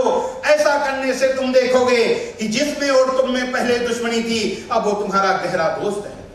इससे अच्छी बात क्या हो सकती है? मुसलमान के लिए अल्लाह का हुक्म है कि अगर कोई भी आपसे को गाली देता है, गलत बात करता है, बदतमीजी करता है तो मुसलमान का फ़र्ज़ है, कर्तव्य है कि वो उसको उस तरीके से उससे न जवाब दे। इतना अच्छा बोले कि उसका दिल जीत ले, इस्लाम दिल जीतने का मतलब है कर्म से हिंसा, सूरा पाँच, आयत नंबर बत्तीस जिस किसी ने एक इंसान का, निर्दोष इंसान का कत्ल किया तो मानो उसने सारे इंसानों का कत्ल कर दिया।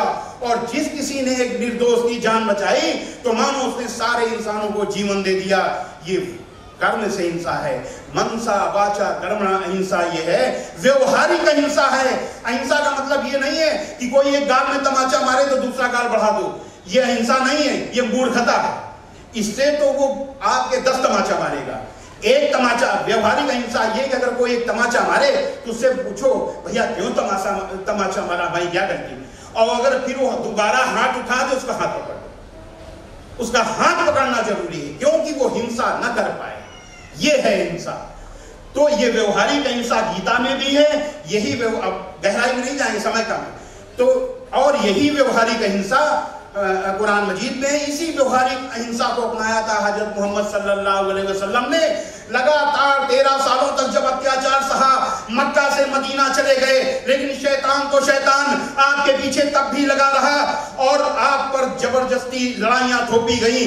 जब लड़ाइयाँ थोपी गई, आपने की कोशिश की गई, आपने सुलह हुदैबिया किया और अपनी शर्तों पर नहीं, विरोधियों की शर्तों पर किया कि शांति स्थापित हो जाए। चलो तुम्हारी बात सही, हम शांति चाहते हैं, हम तुम्हारी शर्तों पर समझौता कर लेते हैं। लेकिन इसके बाद भी जब विरोधी नहीं शैतान नहीं माना, आप पर हर तरीके से जो है आपको नष्ट करने की कोशिश की गई। तो सूरा बाईस आयत उनतालीस में आदेश अल्लाह का आया, जिन मुसलमानों से खामखा लड़ाई की जाती है, उनको इजाज़त है कि वे भी लड़े, क्योंकि उनके साथ जुल्म हो रहा है। लेकिन ये धर्म युद्ध था धर्म युद्ध को अल्लाह ने मर्यादा में बाँध दिया कि सूरा दो, आयत नंबर 190 में कि जो लोग तुमसे लड़ते हैं, तुम भी खुदा की राह में लड़ो। मगर जाति न करना कि जाति करने वालों को खुदा नापसंद नापसंद करता है नापसंद करता है। इसी वजह से हज़रत मोहम्मद सल्लल्लाहु अलैहि वसल्लम ने जितनी लड़ाइयाँ लड़ी, उनमें जो कुल लोग, जो कुल मुसलमान जो शहीद हुए, वो थे दो सौ उनसठ। और जो गैर मुस्लिम जो मारे गए वो थे पांच सौ उनसठ यानी सात सौ उनसठ यानी कि दस साल में जो भी आपने लड़ाइयां लड़ी उसमें एक हजार अठारह लोग शहीद हुए और मारे गए ವೇದಿಕೆಯ ಮೇಲೆ ಬಹಳ ಪ್ರಖಂಡ ಪಂಡಿತರಿದ್ದಾರೆ ತುಂಬ ಆಲೋಚನೆ ಮಾಡುವಂತಹ ಮನುಷ್ಯರು ಗಮನ ಕೊಟ್ಟು ಕೇಳಬೇಕಾದಂತಹ ಮತ್ತು ತಮ್ಮ ಜೀವನದಲ್ಲಿ ಮತ್ತೆ ಮತ್ತೆ ಆಲೋಚನೆ ಮಾಡಿ ಒಂದು ದಾರಿಯನ್ನು ಹುಡುಕಬೇಕಾದಂತಹ ಕೆಲ ವಿಚಾರಗಳನ್ನು ಅವರು ಹೇಳಿದ್ದಾರೆ. ನಾನು ಸಾಮಾನ್ಯವಾಗಿ ಮಾತನಾಡುವಾಗ ಈ ಇತಿಹಾಸದ ಪುಸ್ತಕಗಳನ್ನು ಕೋಟ್ ಮಾಡೋದು, ಇತಿಹಾಸದ ಘಟನೆಗಳನ್ನು ಹೇಳೋದು ಎಲ್ಲ ಬಹಳ ಸುಲಭ. ಇತಿಹಾಸದ ಬೆಳಕಿನಲ್ಲಿ ವರ್ತಮಾನದಲ್ಲಿ ನಾವು ಹುಡುಕುವ ದಾರಿ ಯಾವುದು? ಅನ್ನೋದು ನನ್ನ ಸಮಸ್ಯೆ. ಪ್ರತಿ ಸಲ ನಾನು ವೇದಿಕೆಯ ಮೇಲೆ ಕೂತೆ ನಾನು ಏನು ಮಾತಾಡಬೇಕು ಅಂತ ಆಲೋಚನೆ ಮಾಡ್ತಾ ಇರ್ತೇನೆ. ಇಲ್ಲಿ ಬಂದು ಕೂತ ನಂತರ ಬಹಳಷ್ಟು ವಾಗ್ಮಿಗಳು ನನಗೆ ಏನು ಮಾತನಾಡಬಹುದು ಅನ್ನುವಂಥ ಒಂದು ಮಾರ್ಗದರ್ಶನದ ಬೆಳಕನ್ನು ಕೂಡ ತೋರಿದ್ದಾರೆ. ನಾನು ಮುಖ್ಯವಾಗಿ ಮಾತನಾಡಬೇಕಾಗಿರೋದು ವಿಷಯ ಪ್ರಸ್ತುತ ಪರಿಸ್ಥಿತಿನಲ್ಲಿ ನಾವು ಮೊಹಮ್ಮದ್ ಪೈಗಂಬರ್ ಸಲ್ಲಲ್ಲಾಹು ಅಲಿ ವಸಲ್ಲಂ ಅವರ ಆದರ್ಶಗಳನ್ನು ಅನುಸರಿಸಲಿಕ್ಕೆ ಸಾಧ್ಯ ಇದೆಯಾ? ಇದು ಬಹಳ ಮಹತ್ವದ ಪ್ರಶ್ನೆ ನನ್ನ ಪ್ರಕಾರ. ಸಮಾಜ ವಿಜ್ಞಾನಿಗಳು ಈ ದೇಶದ ಬಹುಮುಖ್ಯ ಸಮಸ್ಯೆ ಯಾವುದು ಎನ್ನುವುದನ್ನು ಬಹಳ ದೀರ್ಘಕಾಲದಿಂದ ಅಧ್ಯಯನ ಮಾಡಿ ಗುರುತಿಸ್ತಾ ಹೋಗಿದ್ದಾರೆ. ಈ ದೇಶದ ಮುಂದೆ ಇರುವಂತಹ ಸಮಸ್ಯೆಗಳನ್ನು ಪಟ್ಟಿ ಮಾಡಿದಾಗ ಬೇರೆ ಬೇರೆ ರೀತಿಯ ಸಮಸ್ಯೆಗಳನ್ನು ನಮ್ಮ ಸಮಾಜ ವಿಜ್ಞಾನಿಗಳು ಎತ್ತಿ ತೋರಿಸ್ತಾರೆ. ಇಪ್ಪತ್ತ ನಾಲ್ಕು ಕೋಟಿ, ನೂರ ಮೂವತ್ತು ಕೋಟಿಯಲ್ಲಿ ಇಪ್ಪತ್ತ ನಾಲ್ಕು ಕೋಟಿ ಜನ ಬಡತನದ ರೇಖೆಗಿಂತ ಕೆಳಗಡೆ ಇದ್ದಾರೆ. ಇವತ್ತು ಬಡತನ ಅನ್ನುವುದು ಭಾರತದ ಬಹಳ ಘೋರ ಸಮಸ್ಯೆ ಅಂತ ಹೇಳುವವರಿದ್ದಾರೆ. ಅದೇ ರೀತಿ ಹದಿನೆಂಟು ಲಕ್ಷ ಜನರು ತಲೆಯ ಮೇಲೆ ಸೂರಿಲ್ಲ, ಬೀದಿನಲ್ಲಿ ಮಲಗ್ತಾ ಇದ್ದಾರೆ ಭಾರತದಲ್ಲಿ. ಇದು ಭಾರತದ ಬಹುದೊಡ್ಡ ಸಮಸ್ಯೆ ಅಂತ ಹೇಳುವಂತಹ ಸಮಾಜ ವಿಜ್ಞಾನಿಗಳು ಕೂಡ ಇದ್ದಾರೆ. ಮೂರುವರೆ ಕೋಟಿ ಜನ ಭಾರತೀಯರು ಹೃದಯ ರೋಗಿಗಳಿದ್ದಾರೆ ಹಾರ್ಟ್ ಪೇಷಂಟ್ಗಳಿದ್ದಾರೆ ಅವರ ಸಂಖ್ಯೆ ದಿನ ದಿನಕ್ಕೆ ಏರ್ತಾ ಇದೆ. ಡಾಕ್ಟರ್ ಅವರು ಇಲ್ಲಿದ್ದಾರೆ. ಅದೇ ಭಾರತದ ಅತಿ ದೊಡ್ಡ ಸಮಸ್ಯೆ ಅಂತ ಹೇಳುವವರು ಇದ್ದಾರೆ ನಮ್ಮಲ್ಲಿ. ಸುಮಾರು ಏಳು ಪಾಯಿಂಟ್ ಎರಡು ಕೋಟಿ ಜನ ಡಯಾಬಿಟಿಸ್ನಿಂದ ಬಳಲುತ್ತಿದ್ದಾರೆ. ಮಧುಮೇಹ ಈ ದೇಶದ ಬಹಳ ದೊಡ್ಡ ಸಮಸ್ಯೆ ಅಂತ ಹೇಳುವಂತಹ ವೈದ್ಯರು ಕೂಡ ನಮ್ಮ ನಡುವೆ ಇದ್ದಾರೆ. ಆದರೆ ನನ್ನ ಪ್ರಕಾರ ಇದು ಯಾವುದು ಸಮಸ್ಯೆಯೇ ಅಲ್ಲ. ಈ ಎಲ್ಲ ಸಮಸ್ಯೆಗಳಿಗೆ ಪರಿಹಾರ ಇದೆ. ಆದರೆ ಭಾರತೀಯರಲ್ಲಿ ಇವತ್ತು ಬೆಳೀತಾ ಇರುವಂತಹ, ಅತ್ಯಂತ ದಾರುಣವಾದಂತಹ ರೀತಿಯಲ್ಲಿ ಬೆಳೆಯುತ್ತಾ ಇರುವಂತಹ ಮನುಷ್ಯ ಮನುಷ್ಯರ ನಡುವಿನ ಪ್ರೇಮ ಶೂನ್ಯತೆ ಇದೆಯಲ್ಲ, ಇದು ಈ ದೇಶದ ಬಹಳ ದೊಡ್ಡ ರೋಗ. ಒಬ್ಬ ಮನುಷ್ಯನನ್ನ ನೋಡಿದರೆ ಇನ್ನೊಬ್ಬ ಮನುಷ್ಯನಿಗಾಗುವುದಿಲ್ಲ. ಒಂದು ಜಾತಿಯವನನ್ನು ನೋಡಿದರೆ ಇನ್ನೊಂದು ಜಾತಿಯವನಿಗಾಗೋದಿಲ್ಲ ಒಂದು ಧರ್ಮದವನನ್ನು ನೋಡಿದರೆ ಇನ್ನೊಂದು ಧರ್ಮದವನಿಗಾಗೋದಿಲ್ಲ ಎತ್ತ ಹೋಗ್ತಾ ಇದೆ ಈ ದೇಶ. ಈ ಸಮಸ್ಯೆಯನ್ನು ಇಟ್ಟುಕೊಂಡು ನಾವು ಇವತ್ತು ಸಾವಿರದ ನಾಲ್ನೂರು ವರ್ಷಗಳ ಹಿಂದೆ ಕಗ್ಗತ್ತಲಿನ ಖಂಡವಾಗಿದ್ದಂತಹ, ಅಂಧಕಾರದಲ್ಲಿ ನರಳುತ್ತಿದ್ದಂತಹ ಅರೇಬಿಯಾದಲ್ಲಿ ಉದಿಸಿ ಬಂದ ಆ ಮಹಾನ್ ಪ್ರವಾದಿ ನಮಗೆ ಹಾಕಿಕೊಟ್ಟಂತಹ ದಾರಿಯಲ್ಲಿ ಯಾವ ಪರಿಹಾರಗಳಿವೆ ಅನ್ನೋದನ್ನ ಇವತ್ತಿನ ಇಪ್ಪತ್ತೊಂದನೇ ಶತಮಾನದಲ್ಲಿ ನಾವು ಇಲ್ಲಿ ನಿಂತು ಹುಡುಕಬೇಕಾದಂತಹ ಅನಿವಾರ್ಯತೆ ಇದೆ.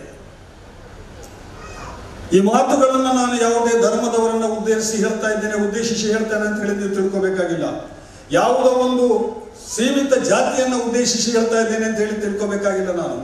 ಇದು ಈ ದೇಶದ ಎಲ್ಲ ಜಾತಿಯ, ಎಲ್ಲ ಧರ್ಮದ ಜನರ ಸಮಸ್ಯೆ. ಬಹಳ ದೊಡ್ಡ ಮಸೀದಿಯನ್ನು ಕಟ್ತೇವೆ ನಾವು ಇವತ್ತು. ಬಹಳ ದೊಡ್ಡ ಮಂದಿರವನ್ನು ಕಟ್ತೇವೆ ನಾವು ಇವತ್ತು. ಅದ್ಭುತವಾದಂತಹ ಗುಂಬಸ್, ಅದ್ಭುತವಾದಂತಹ ಮಿನಾರಗಳು, ಆಕಾಶದ ಎತ್ತರಕ್ಕೆ ಹಾರುವಂತಹ ಮಿನಾರಗಳು.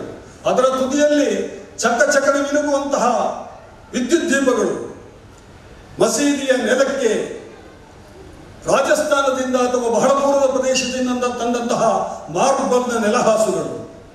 ಕಿಟಕಿ ಬಾಗಿಲುಗಳು, ಬೃಹತ್ ಗಾತ್ರದ ಬಾಗಿಲುಗಳು, ಕಿಟಕಿಗಳು, ಬೀಟಿ ಮರದಿಂದ ಮಾಡಿದಂತಹ ಅತ್ಯುತ್ತಕ್ಷ ಅತ್ಯುತ್ಕೃಷ್ಟ ಕಿಟಕಿಗಳು. ಅದ್ಭುತವಾದಂತಹ ಮಸೀದಿ.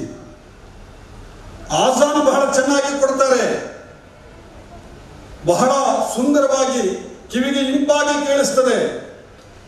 ಅಂತಹ ಮಸೀದಿನಲ್ಲಿ ನಿಂತು ನಮಾಜ್ ಮಾಡುವಂತಹ ಒಬ್ಬ ವ್ಯಕ್ತಿ ಅಲ್ಲಾಹು ಅಕ್ಬರ್ ಎಂದು ಕೈ ಕಟ್ಟಿದಾಗ ಬೆಳಿಗ್ಗೆ ಅವನೊಂದು ಐದು ಸಾವಿರ ಕೊಡಬೇಕಾಗಿತ್ತು, ಇನ್ನೂ ಬಂದಿಲ್ಲ. ಅಲ್ಲಿ ಅಡಿಕೆ ಮಂಡಿನಲ್ಲಿ ಹಾಕಿರೋದು ದುಡ್ಡು ನಿನ್ನೆ ಬರಬೇಕಾಗಿತ್ತು, ಅದು ಬಂದಿಲ್ಲ. ಇಲ್ಲಿ ಇನ್ಯಾರಿಗೋ ಫೋನ್ ಮಾಡಬೇಕಾಗಿತ್ತು ಅವರು ಫೋನ್ ಮಾಡಿಲ್ಲ ಇನ್ನು. ಇನ್ನೆಲ್ಲೋ ಹೋಗಬೇಕಾಗಿತ್ತು. ಅಂದರೆ ನಾವು ಒಂದು ಮಸೀದಿಯನ್ನ, ಒಂದು ದೇವಸ್ಥಾನವನ್ನ, ಒಂದು ಇಗರ್ಜಿಯನ್ನ ಎಷ್ಟೊಂದು ಕೋಟಿ ಲಕ್ಷ ರೂಪಾಯಿ ಖರ್ಚು ಮಾಡಿ ಅದ್ಭುತವಾಗಿ ಕಟ್ಟಿದ್ರು ಕೂಡ ಅಲ್ಲಿ ನಿಂತು ಪ್ರಾರ್ಥನೆ ಮಾಡುವಂತಹ ಮನುಷ್ಯನ ಪ್ರಾರ್ಥನೆ ಇದೆಯಲ್ಲ. ಮಸೂದಿಯಲ್ಲಿ ನಿಂತಿರುವಂತಹ ಮುಸ್ಲಿಮನ ಈಮಾನ್ ಇದೆಯಲ್ಲ.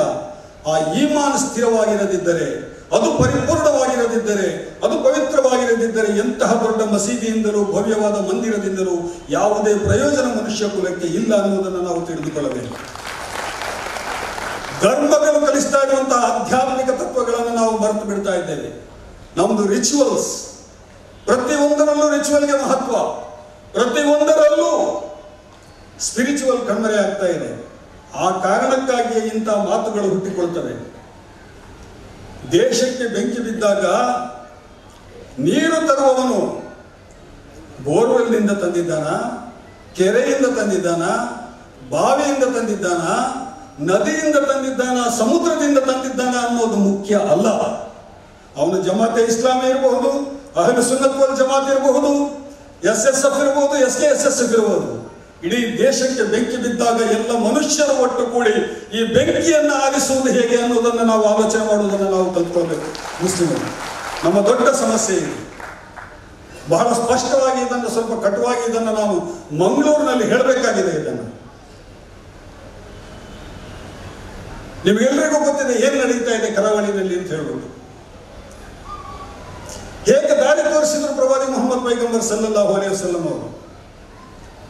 ಅಬೂ ಸುಫಿಯಾನ್, ಈಗ ಸ್ವಾಮೀಜಿ ಅವರು ಹೇಳಿದರು ಹೆಸರು ಬಂತು ಅವರು ಪ್ರವಾದಿ ಮುಹಮ್ಮದರನ್ನ ನಕಶಿಕಾಂತ ದ್ವೇಷಿಸುತ್ತಿದ್ದಂತಹ ಹದಿನೈದು ವರ್ಷಗಳ ಕಾಲ ಅವರನ್ನು ಬೆನ್ನು ಬಿಡದೆ ಬೆನ್ನಟ್ಟಿದಂತಹ ಪ್ರತಿಯೊಂದು ಕಂಟಕಗಳನ್ನು ಕೊಟ್ಟಂತಹ, ಅವರ ಕೊಲೆ ಮಾಡುವುದಕ್ಕೆ ಯೋಜನೆಗಳನ್ನು ರೂಪಿಸಿದಂತಹ, ಜನರನ್ನು ಪ್ರಚೋದಿಸಿ ಕೊಲೆ ಮಾಡಲಿಕ್ಕೆ ಕಳಿಸಿದಂತಹ ಅಬೂ ಸುಫಿಯಾನ್. ಅಬೂ ಸುಫಿಯಾನನ ವ್ಯಾಪಾರದ ಸರಕುಗಳನ್ನು ಮಾರಾಟ ಮಾಡಲಿಕ್ಕೆ ಮೊಹಮ್ಮದ್ ಪೈಗಂಬರ್ ಅವರು ತಂದು ಕೊಡ್ತಾ ಇದ್ದ ನನ್ನ ವ್ಯಾಪಾರದ ಸರಕುಗಳನ್ನು ನೀವು ಕ್ಯಾರವಾನ್ ತಗೊಂಡು ಹೋಗಬೇಕಾದ್ರೆ ನೀವು ದಯವಿಟ್ಟು ಮಾರಿ ತಂದು ಕೊಡಿ ಅಂತ ಮೊಹಮ್ಮದ್ ಪೈಗಂಬರ್ ಸಲ್ಲಲ್ಲಾಹು ಅಲೈಹಿ ಸಲಂ ಹತ್ರ ತಂದು ಕೊಡ್ತಾ ಇದ್ದ. ಅದೇ ರೀತಿ ಮುಹಮ್ಮದ್ ಸಲ್ಲಲ್ಲಾಹು ಅಲೈಹಿ ಸಲಂ ಅವರು ಕೂಡ ತಮ್ಮ ವ್ಯಾಪಾರದ ಸರಕುಗಳನ್ನು ಅಬು ಸುಫಿಯಾನ್ ಹತ್ರ ಅವನು ಕ್ಯಾರವನ್ನಲ್ಲಿ ತೆಗೆದುಕೊಂಡು ಹೋಗ್ತಾ ಇದ್ದಾಗ ತಂದು ಕೊಡ್ತಾ ಇದ್ರು. ಒಂದು ಸಲ ಒಂದು ಘಟನೆ ನಡೆಯಿತು. ಅಬು ಸುಫಿಯಾನ್ ವ್ಯಾಪಾರಕ್ಕೆ ಹೋಗಿದ್ದ. ನಾಲ್ಕು ಐದು, ಆರು ತಿಂಗಳಾದ ಮೇಲೆ ವ್ಯಾಪಾರ ಮುಗಿಸ್ಕೊಂಡು ಬರ್ತಾರೆ. ಎಲ್ಲರ ಸರಕುಗಳನ್ನು ಸಂಗ್ರಹಿಸಿಕೊಂಡು ಕ್ಯಾರವನ್ನಲ್ಲಿ ದೂರ ದೂರ ದೇಶಗಳಿಗೆ ಹೋಗಿ ಅದನ್ನು ಮಾರಾಟ ಮಾಡಿ ಸ್ವಲ್ಪ ಲಾಭವನ್ನು ಅವನು ಉಳಿಸಿಕೊಂಡು ಉಳಿದದ್ದನ್ನು ಇವರ ಲಾಭವನ್ನು ತಂದು ಕೊಡ್ತಾನೆ. ಇದು ಪದ್ಧತಿ. ಅಬು ಸುಫಿಯಾನ್ ಮೂರ್ನಾಲ್ಕು ತಿಂಗಳ ವ್ಯಾಪಾರದ ಪ್ರವಾಸವನ್ನು ಮುಗಿಸಿಕೊಂಡು ಮಕ್ಕಳಿಗೆ ಬಂದಿದ್ದಾನೆ. ಅವನ ಮನೆಯಲ್ಲಿ ವಿಶ್ರಾಂತಿಯನ್ನು ಪಡೆಯುತ್ತಾ ಇದ್ದಾನೆ. ಎಲ್ಲ ವ್ಯಾಪಾರಸ್ಥರು, ದೊಡ್ಡ ದೊಡ್ಡ ವ್ಯಾಪಾರಸ್ಥರು, ಬಂಡವಾಳದಾರರು ಅವನ ಮನೆಗೆ ಬರ್ತಾರೆ. ಅಬು ಸುಫಿಯಾನ್ ಬಂದಿದ್ದಾನಂತೆ. ನಮ್ಮ ಗೂಡ್ಸ್ ಏನಾಯ್ತು? ನಮ್ಮ ಸರಕುಗಳು ಏನಾಯ್ತು? ಎಷ್ಟು ಲಾಭ ಆಯ್ತು? ಎಷ್ಟು ದುಡ್ಡು ಬಂದಿದೆ? ಅಂತ ವಾಪಸ್ ಕೇಳಲಿಕ್ಕೆ ಅವರು ಮನೆಗೆ ಬರ್ತಾರೆ. ಎಲ್ಲರೂ ವಿಚಾರಿಸ್ತಾರೆ. ನೋಡಿದ್ರೆ ಅಬು ಸುಫಿಯಾನಿಗೆ ಬಹಳ ಜೋರಾದಂತಹ ಜ್ವರ ಬರ್ತಾ ಇದೆ. ಮಲ್ಕೊಂಡ್ಬಿಟ್ಟಿದ್ದಾನೆ ಅವತ್ತೇ ಮೊಹಮ್ಮದ್ ಪೈಗಂಬರ್ ಸಲ್ಲಲ್ಲಾಹು ಅಲೈಹಿ ವಸಲ್ಲಂ ಅವರು ಸುಫಿಯಾನ್ ಸುಫಿಯಾನ್ನ ಮನೆಗೆ ಬರ್ತಾರೆ. ಬಂದು ಅಬು ಸುಫಿಯಾನಿಗೆ ಬಹಳ ಪ್ರಯಾಸದ ಆಯತ ಆಯಾಸದಿಂದಾಗಿ ಆ ಸಂಕಷ್ಟದಿಂದಾಗಿ, ಹವಾಮಾನದ ಸಂಕಷ್ಟದಿಂದಾಗಿ ಜ್ವರ ಬಂದಿದೆ ಅಂತ ಹೇಳಿ ವಿಷಯ ಗೊತ್ತಾಯಿತು. ಹೇಗಿದೆ ನಿನ್ನ ಆರೋಗ್ಯ? ಚೆನ್ನಾಗಿದೆಯಾ? ಏನು ತಗೊಂಡೆ? ಹೇಗೆ ಜ್ವರ ಬಂತು? ಸ್ವಲ್ಪ ರೆಸ್ಟ್ ತಕ್ಕೋ, ವಿಶ್ರಾಂತಿ ತಕ್ಕೋ, ಉಳಿದದೆಲ್ಲ ವಿಚಾರವನ್ನು ಜನರ ಜೊತೆಗೆ ಆಮೇಲೆ ಮಾತಾಡು ಅಂತ ಹೇಳಿ ಸಮಾಧಾನ ಹೇಳಿ ಅವರು ವಾಪಸ್ ಹೋಗ್ತಾರೆ. ಅಬು ಸುಫಿಯಾನ್ ತನ್ನ ಸಹಚರರ ಜೊತೆ ಹೇಳ್ತಾನೆ, ಬೆಳಿಗ್ಗೆಯಿಂದ ಇಲ್ಲಿಯವರೆಗೆ ಇಷ್ಟೊಂದು ಮಂದಿ ನನ್ನ ಮನೆಗೆ ಬಂದರು. ವ್ಯಾಪಾರ ಎಷ್ಟಾಗಿದೆ? ಲಾಭ ಎಷ್ಟು ಬಂತು? ನಮ್ಮ ಸರಕು ಎಷ್ಟು ಮಾರಾಟ ಆಯಿತು? ಅಂತ ಕೇಳಿ ಹೋಗ್ತಾ ಇದ್ದಾರೆ. ಈ ಮನುಷ್ಯ ಒಬ್ಬ ಪುಣ್ಯಾತ್ಮ ಬಂದು ನಿಮಗೆ ಜ್ವರ ಬಂದಿದೆ ಅಂತಲ್ಲ, ಹೇಗಿದೆ? ಯಾಕೆ ಜ್ವರ ಬಂತು? ಏನು ಔಷಧಿ ತಗೊಂಡಿದ್ದೀರಿ ಅಂತ ಕೇಳಿ ವಾಪಸ್ ಹೋಗ್ತಾ ಇದ್ದಾರೆ. ಇದು ನಿಜವಾದ ವ್ಯತ್ಯಾಸ. ಮುಸ್ಲಿಮನಿಗೆ ಪ್ರವಾದಿ ಮುಹಮ್ಮದರ ಅನುಯಾಯಿಯೊಬ್ಬ ಯಾವ ರೀತಿ ಶತ್ರುಗಳ ಜೊತೆಗೂ ಕೂಡ ವರ್ತಿಸಬೇಕು ಅನ್ನುವಂತಹ ಒಂದು ಉದಾಹರಣೆಯನ್ನ ನೂರಾರು ಉದಾಹರಣೆಗಳನ್ನ ಮೊಹಮ್ಮದ್ ಪೈಗಂಬರ್ ಅವರು ನಮ್ಮ ಮುಂದೆ ಕೊಟ್ಟು ಹೋಗಿದ್ದಾರೆ. ಬೆಳಿಗ್ಗೆ ಈಗ ಮಾತಾಡುವಾಗ ಆರಂಭದಲ್ಲಿ ಹೇಳಿದರು, ಮೊಹಮ್ಮದ್ ಕುಂಜಿ ಅವರು ಹೇಳಿದರು, ಒಬ್ಬ ಮನುಷ್ಯ, ಸಾಮಾನ್ಯ ಮನುಷ್ಯ ಕುರಿ ಕಾಯುತ್ತಿದ್ದಂತಹ ಒಬ್ಬ ಬಡ ಮನುಷ್ಯ ನಲವತ್ತು ವರ್ಷಗಳ ಕಾಲ ತನ್ನ ಸಚ್ಚರಿತೆಯ ಆಧಾರದ ಮೇಲೆ ಒಂದು ಸಮಾಜದಲ್ಲಿ ಬದುಕಿದ್ದಂತಹ ಮನುಷ್ಯ. ಅತ್ಯಂತ ಪ್ರಾಮಾಣಿಕ, ಅತ್ಯಂತ ಸತ್ಯಸಂಧ ಯಾವುದೇ ಕಳಂಕಗಳಿಲ್ಲದಂತಹ ವ್ಯಕ್ತಿತ್ವದಲ್ಲಿ ಒಂದೇ ಒಂದು ಕಪ್ಪು ಚುಕ್ಕೆ ಇಲ್ಲದಿದ್ದಂತಹ, ಬದುಕನ್ನು ನಲವತ್ತು ವರ್ಷಗಳ ಕಾಲ ನಡೆಸಿದಂತಹ ಒಬ್ಬ ಸಾಮಾನ್ಯ ವ್ಯಕ್ತಿ. ಪ್ರವಾದಿತ್ವ ಲಭಿಸುವುದಕ್ಕಿಂತ ಐದು ವರ್ಷ ಮುಂಚೆ ಮಕ್ಕಾದಲ್ಲಿ ದೊಡ್ಡ ಕಲಹ ಆಗ್ತದೆ ಕುರೇಶಿ ಸರ್ದಾರರ ನಡುವೆ. ಕಾಬಾದ ಪುನರ್ನಿರ್ಮಾಣ ಆಗಿರ್ತಾ ಇದೆ. ಕಾಬಾದ ಪುನರ್ನಿರ್ಮಾಣ ಆದಾಗ ಅದರಲ್ಲಿದ್ದಂತಹ ಹಸಿರುಲ್ಲ ಕಲ್ಲನ್ನ ಯಾರು ತೆಗೆದುಕೊಂಡು ಹೋಗಿ ಆ ಜಾಗದಲ್ಲಿ ಇಡಬೇಕು ಅನ್ನುವಂತಹ ಒಂದು ವಿವಾದ ಮುಗಿದೇಳ್ತದೆ. ನಾಲ್ಕು ಕುರೇಶಿ ಪಂಗಡಗಳ ನೇತಾರರು, ಅದು ನನ್ನ ಹಕ್ಕು, ಅದು ನನ್ನ ಹಕ್ಕು ಎಂದು ಜಗಳ ಮಾಡ್ತಾ ಇದ್ದಂತಹ ಸಂದರ್ಭದಲ್ಲಿ ಆ ನಾಲ್ಕು ಮಂದಿಗೆ ಹೊಳೆಯೋದು ಒಂದೇ ಹೆಸರು, ಮುಹಮ್ಮದ್. ನಾವು ಜಗಳ ಮಾಡೋದು ಬೇಡ ಮುಹಮ್ಮದ್ ಅವರ ಬಳಿಗೆ ಹೋಗೋಣ. ಅವರು ಏನು ತೀರ್ಮಾನ ಕೇಳ- ಕೊಡ್ತಾರೆ ಅನ್ನೋದನ್ನು ನೋಡೋಣ ಅನ್ನುವಂತಹ ಮಾತುಗಳನ್ನು ನಾವು ಗಂಡರು ಅವರ ನಡುವೆ ಮಾತಾಡಿಕೊಂಡು ಮುಹಮ್ಮದ್ ಅವರ ಬಳಿಗೆ ಹೋಗ್ತಾರೆ. ನೆನಪಿಡಿ, ಇದು ಪ್ರವಾದಿತ್ವಕ್ಕಿಂತ ಮುಂಚೆ. ಪ್ರವಾದಿತ್ವ ಪಡೆಯುವುದಕ್ಕಿಂತ ಐದು ವರ್ಷಗಳ ಮುಂಚೆ ನಡೆದಂತಹ ಘಟನೆ ಇದು. ಮೊಹಮ್ಮದ್ ಅವರು ಬರ್ತಾರೆ. ನೀವು ನಾಲ್ಕು ಮಂದಿ ಈ ಕಾಬಾದ ಪುನರ್ನಿರ್ಮಾಣದಲ್ಲಿ ಬಹಳ ಮಹತ್ವದ ಪಾತ್ರವನ್ನು ವಹಿಸಿದ್ದೀರಿ. ನಿಮ್ಮ ನಿಮ್ಮ ಸಮುದಾಯ ಬಹಳ ಮಹತ್ವದ ಪಾತ್ರವನ್ನು ವಹಿಸಿದೆ. ನೀವು ನಾಲ್ಕು ಮಂದಿ ಹಕ್ಕುದಾರರು ಅಂತ ಹೇಳ್ತಾ ಒಂದು ಶಾಲನ್ನು ನೆಲದ ಮೇಲೆ ಹಾಸ್ತಾರೆ ನಾಲ್ಕು ಮಂದಿ ಎತ್ತಿ, ಮುಹಮ್ಮದ್ ಪೈಗಂಬರ್ ಅವರು ಎತ್ತಿ ಅದನ್ನ ಆ ಶಾಲನ ಮೇಲೆ ಹಜರುಲ್ಲ ಕಲ್ಲನ್ನ ಇಡ್ತಾರೆ. ನಾಲ್ಕು ಮಂದಿಗೆ ಬಟ್ಟೆಯ ನಾಲ್ಕು ತುದಿಯನ್ನು ಹಿಡ್ಕೊಳ್ಳಿ ಅಂತ ಹೇಳ್ತಾರೆ, ಅಲ್ಲಿ ತಗೊಂಡು ಹೋಗ್ಲಿಕ್ಕೆ ಹೇಳ್ತಾರೆ ಅವರು ಅದನ್ನು ತೆಗೆದು ಅಲ್ಲಿ, ಆ ಜಾಗದಲ್ಲಿ ಅದನ್ನ ಇಟ್ಟು ಬಿಡ್ತಾರೆ. ಅಂದ್ರೆ ಒಬ್ಬ ವ್ಯಕ್ತಿಯ ನೈತಿಕ ಜೀವನ, ಒಬ್ಬ ವ್ಯಕ್ತಿಯ ಆದರ್ಶಯುತ ಜೀವನ, ಆ ಇಡೀ ಸಮುದಾಯಕ್ಕೆ ಮಾರ್ಗದರ್ಶಕವಾಗಿತ್ತು ಮತ್ತು ಅನುಕರಣೀಯವಾಗಿತ್ತು ಮತ್ತು ತಮ್ಮೆಲ್ಲ ವಿವಾದಗಳನ್ನು ಕೂಡ ಪರಿಹರಿಸಬಲ್ಲಂತಹ ನ್ಯಾಯ ಪ್ರಜ್ಞೆ ಈ ಮನುಷ್ಯನಲ್ಲಿದೆ ಅನ್ನುವುದನ್ನು ಅವರು ಅರಿತುಕೊಂಡಿದ್ದರು. ಅಂತಹ ವ್ಯಕ್ತಿ ನಲವತ್ತನೇ ವಯಸ್ಸಿನಲ್ಲಿ ನನಗೆ ಪ್ರವಾದಿತ್ವದ ಪ್ರವಾದಿತ್ವ ಲಭಿಸಿದೆ, ನನಗೆ ಅಲ್ಲಾಹು ನನ್ನನ್ನು ಪ್ರವಾದಿಯನ್ನಾಗಿ ಆಯ್ಕೆ ಮಾಡಿದ್ದಾನೆ ಅಂತ ಹೇಳಿದಾಗ ಅವರು ನಂಬಲಿಕ್ಕೆ ತಯಾರಿರೋದಿಲ್ಲ ಸಮಾಜದ ಜನ. ಬಹಳ ಅದ್ಭುತವಾದಂತಹ ಮಾತುಗಳನ್ನು. ನಾನು ಇದನ್ನು ಮತ್ತೆ ಲಂಬಿಸ್ಲಿಕ್ಕೆ ಹೋಗೋದಿಲ್ಲ. ಹಿಂದಿನವರು ಹೇಳಿದಂತಹ ಮಾತುಗಳನ್ನು. ಅತ್ಯುತ್ತಮವಾದಂತಹ ಉದಾಹರಣೆಗಳನ್ನು ಅವರು ನಮಗೆ ಹಾಕಿಕೊಟ್ಟಿದ್ದಾರೆ ಮೊಹಮ್ಮದ್ ಪೈಗಂಬರ್ ಸಲ್ಲಲ್ಲಾಹು ಅಲೈಹಿ ವಸಲ್ಲಂ ಅವರು.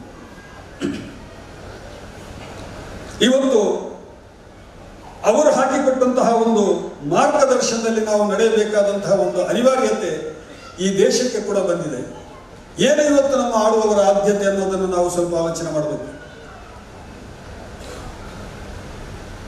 ಈ ದೇಶದ ಬಹಳ ದೊಡ್ಡ ರೋಗ ನಾನು ಹೇಳಿದ್ನಲ್ಲ, ಪ್ರೇಮ ಶೂನ್ಯತೆ ಅನ್ನುವಂತಹದ್ದು. ಹೆಚ್ಚು ಹೆಚ್ಚಿಗೂ ನಾವು ಇದನ್ನು ಅನುಭವಿಸ್ತಾ ಇದ್ದೇವೆ. ರಾಜಕಾರಣಿಗಳು ನಮ್ಮ ನಡುವೆ ತಂದು ಹಾಕ್ತಾ ಇದ್ದಾರೆ. ಮೊಹಮ್ಮದ್ ಪೈಗಂಬರ್ ಅವರು ರಾಜಕಾರಣಿ ಆಗಿದ್ದವರು, ರಾಜಕಾರಣವನ್ನು ಮಾಡಿದವರು, ಹಲವಾರು ಯುದ್ಧಗಳಲ್ಲಿ ಭಾಗವಹಿಸಿದವರು. ಆ ಯುದ್ಧಗಳನ್ನು ಅವರು ಹೇಗೆ ಮುನ್ನಡೆಸಿದ್ರು, ಯಾವ ರೀತಿ ತಮ್ಮ ರಾಜಕೀಯ ನಿಲುವುಗಳನ್ನು ಪ್ರಕಟಿಸಿದ್ರು, ಮೊದಲ ಬಾರಿಗೆ ಅವರು ಇಸ್ಲಾಂ ಧರ್ಮವನ್ನು ಆರಂಭಿಸಿ ಪ್ರಚಾರ ಮಾಡಿದಾಗ ಅವರ ಹಿಂದೆ ಬಂದವರು ಅತ್ಯಂತ ಬಡವರು, ಪಂಚಮರಲ್ಲಿ ಪಂಚಮರಾದ ಕೆಳಜಾತಿಯವರು ದಲಿತಾತಿ ದಲಿತರವರ ಜೊತೆಗೆ ಬಂದರು.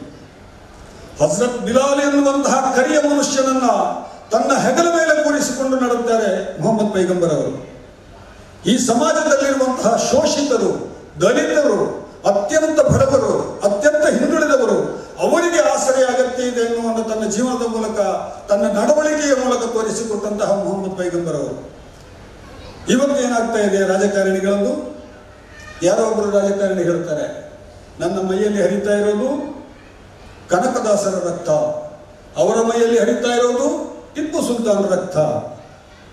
ಎಲ್ಲಿಗೆ ತಲುಪಿದ್ದೇವೆ ನಾವು ಭಾರತೀಯರು, ಕನ್ನಡಿಗರು?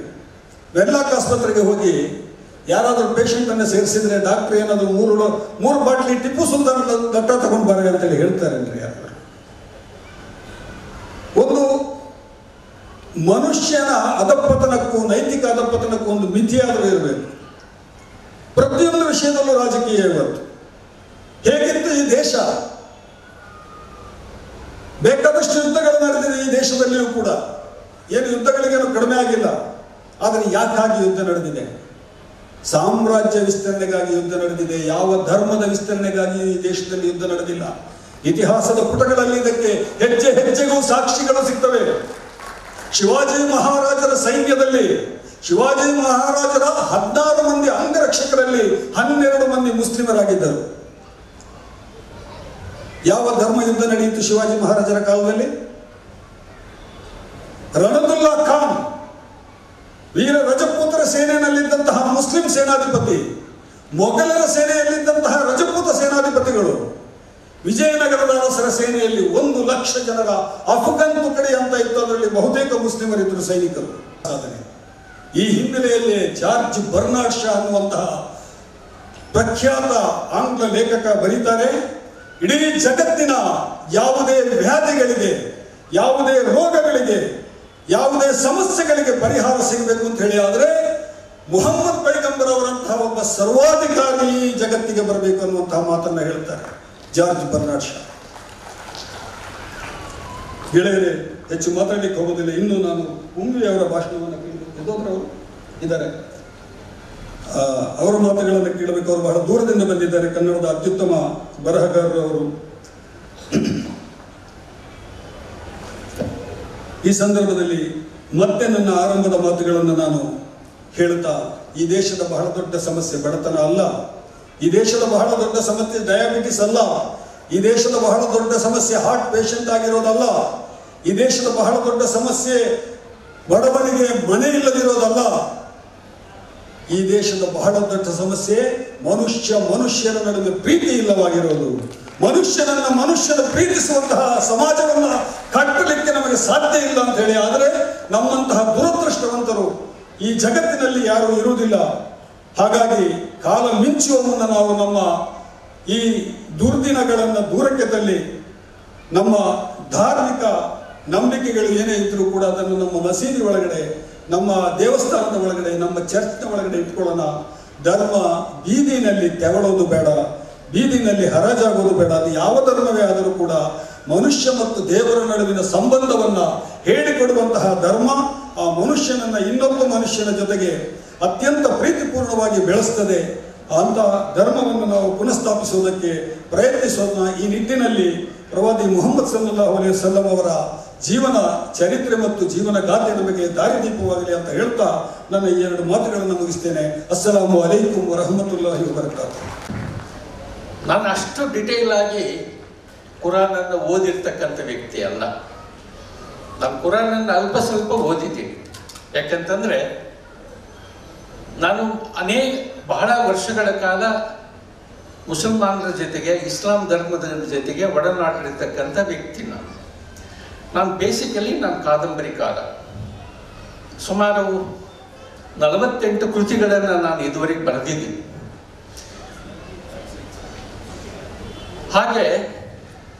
ಬಹಳ ನನ್ನ ಮಹತ್ವಾಕಾಂಕ್ಷೆ ಅಂತಂದರೆ ಔರಂಗಜೇಬ್ ಬಗ್ಗೆ ರಜಿಯಾ ಸುಲ್ತಾನ್ ಈ ಎರಡು ಪಾತ್ರಗಳೇನಿವೆ ಇತಿಹಾಸದಲ್ಲಿ ಇರ್ತಕ್ಕಂಥ ಎರಡೂ ಪಾತ್ರಗಳು ಬಹಳ ಅಲಕ್ಷ್ಯಗೊಳಗಾಗಿರ್ತಕ್ಕಂಥ ಪಾತ್ರಗಳಿವೆ. ಇವರು ಇವರಿಬ್ಬರ ಬಗ್ಗೆ ನಾನು ಕಾದಂಬರಿ ಬರೀಬೇಕಂತ ಕಳೆದ ಹತ್ತು ವರ್ಷಗಳಿಂದ ಸತತ ಪ್ರಯತ್ನ ಮಾಡ್ತಾ ಇದ್ದೆ ಭಾರತದಲ್ಲಿ ಇರ್ತಕ್ಕಂಥ ಎಲ್ಲ ಮಸೀದಿಗಳನ್ನು, ಅರಮನೆಗಳನ್ನು, ದರ್ಗಾಗಳನ್ನು, ಇಸ್ಲಾಂ ಧರ್ಮಕ್ಕೆ ಸಂಬಂಧಿಸಿದ ರಾಜ ಮಹಾರಾಜರ ಇತಿಹಾಸವನ್ನು ನಾನು ಆಳವಾಗಿ ಅಧ್ಯಯನ ಮಾಡಿದ್ದೆ. ಅಧ್ಯಯನ ಮಾಡಿದಾಗ ನನಗೆ ಅನಿಸಿತ್ತು ಬಾಬರ್ ವಿದ್ಯಾವಂತನಾಗಿದ್ದ. ಹುಮಾಯೂನ್ ಯುದ್ಧ ವಿದ್ಯಾವಂತನಾಗಿದ್ದ. ಆದರೆ ಅವಿದ್ಯಾವಂತನಾಗಿದ್ದಂಥ ಅಕ್ಬರ್ ಈ ದೇಶಕ್ಕೆ ಒಂದು ಹೊಸ ವರ್ಚಸ್ಸನ್ನು ತಂದುಕೊಟ್ಟ ಅಕ್ಬರ್, ಜಲಾಲುದ್ದೀನ್ ಮೊಹಮ್ಮದ್ ಅಕ್ಬರ್ ಅವರು ಪೂರ್ತಿ ಹೆಸರು. ವಿದ್ಯಾ, ಅವಿದ್ಯಾವಂತ ಅವಿದ್ಯಾವಂತನಾಗಿದ್ದಂಥ ಐದರಾಲಿ ನಮ್ಮ ಇತಿಹಾಸದಲ್ಲಿ ಉಳಿದಿದ್ದಾರೆ ಅಲ್ವಾ? ಈ ಒಂದು ಮುಗ್ಧತೆ, ಅಮಾಯಕತ್ವ ಅಂತಕ್ಕಂಥದ್ದೇನಿದೆ ಈ ಸಮಾಜಕ್ಕೆ ಬೆಳಕನ್ನು ಕೊಡ್ತದೆ ಅಂತ ತಿಳ್ಕೊಂಡಿರ್ತಕ್ಕಂಥ ವ್ಯಕ್ತಿ ನಾನು. ಯಾಕೆಂದ್ರೆ ಔರಂಗಜೇಬ್ ಬಹಳ ಅಪಾರ್ಥಕ್ಕೊಳಗಾಗಿರ್ತಕ್ಕಂಥ ಇತಿಹಾಸದ ವ್ಯಕ್ತಿ. ನಾನು ಅವರಿಗೆ ಸಂಬಂಧಪಟ್ಟಂತಹ ನಿಕಲಾಯ್ ಮನೋಜಿ ಶಹಜಾನ್ ಮತ್ತು ಔರಂಗಜೇಬನ ಆಸ್ಥಾನದಲ್ಲಿದ್ದಂಥ ಒಂದು ಕುಟುಂಬದ ವೈದ್ಯ. ಅವನು ಬರೆದಂಥ ಪ್ರವಾಸ ಕಥನಗಳನ್ನು ಸ್ಟಡಿ ಮಾಡಿದ್ದೆ.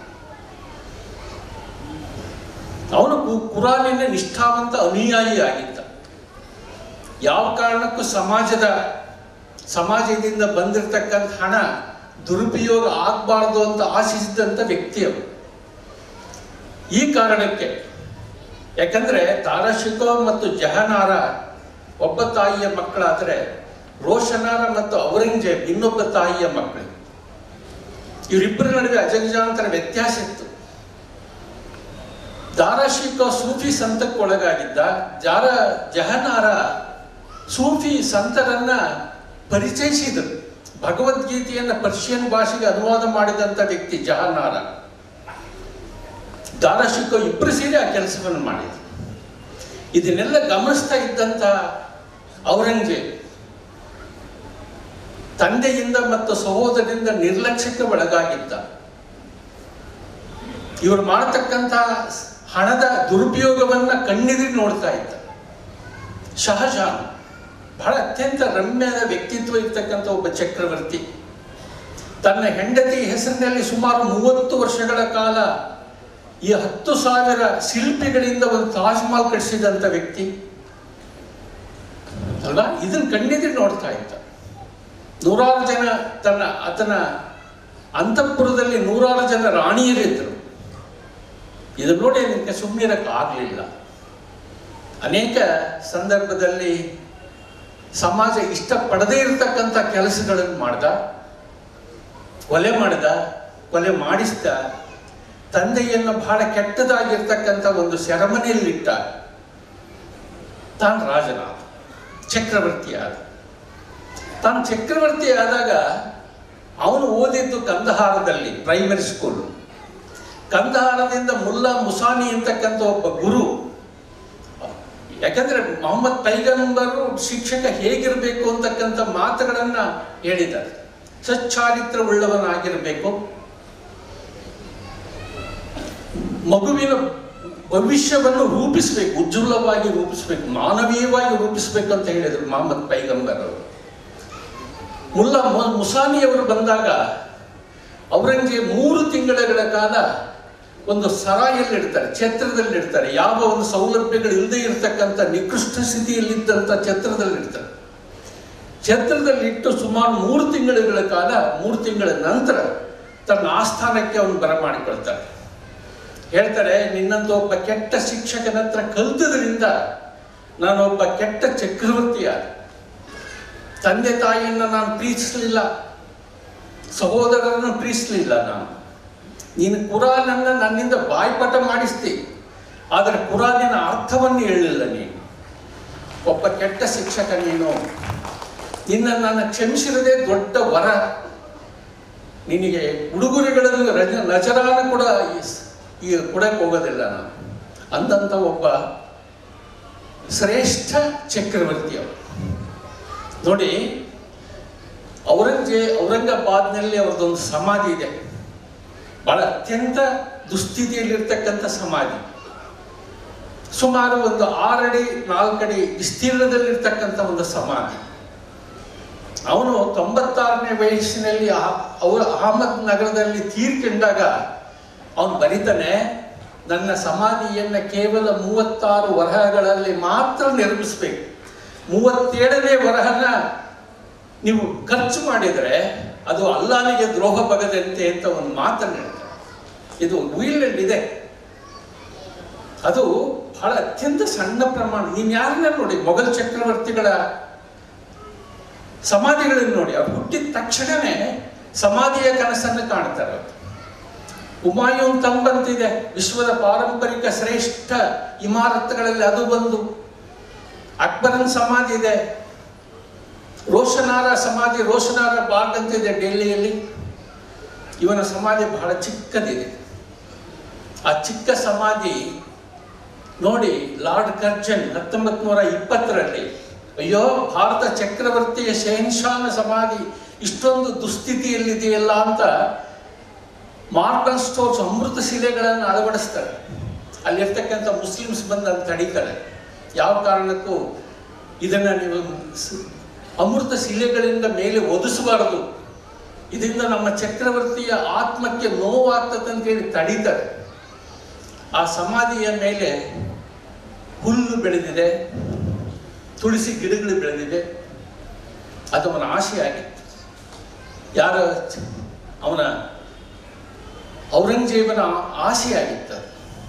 ಅಂತ ಔರಂಗಜೇಬ ಭಾರತ ಕಂಡಂತ ಅತ್ಯುತ್ತಮ ಸಾಮ್ರಾಟರಲ್ಲಿ ಒಬ್ಬ. ದುರದೃಷ್ಟವಶಾತ್ ನಮ್ಮ ಇತಿಹಾಸಕಾರರು ಏನು ಮಾಡಿದ್ದಾರೆ, ಅವನ ನಿರಂತರ ಚಿತ್ರಿಸಿದ್ದಾರೆ. ಟಿಪ್ಪು ಸುಲ್ತಾನನ್ನ ನಿರಂತರ ಚಿತ್ರಿಸಿದ್ದಾರೆ. ಇವರಿಬ್ಬರು ಕಣ್ ಭಾರತ ಕಂಡಂತ ಅತ್ಯಂತ ಶ್ರೇಷ್ಠ ಸೇನಾನಿಗಳು ಸಾಮ್ರಾಟರು ಜನಮುಖಿಯಾಗಿದ್ದಂಥವರು ತನ್ನ ದುಡಿಮೆಯಲ್ಲಿ ಬದುಕಿದ ಔರಂಗಜೇಬ್, ಯಾವ ಕಾರಣಕ್ಕೂ ಸಮಾಜದ ಹಣದಲ್ಲಿ ಅವನು ಊಟ ಮಾಡಲಿಲ್ಲ.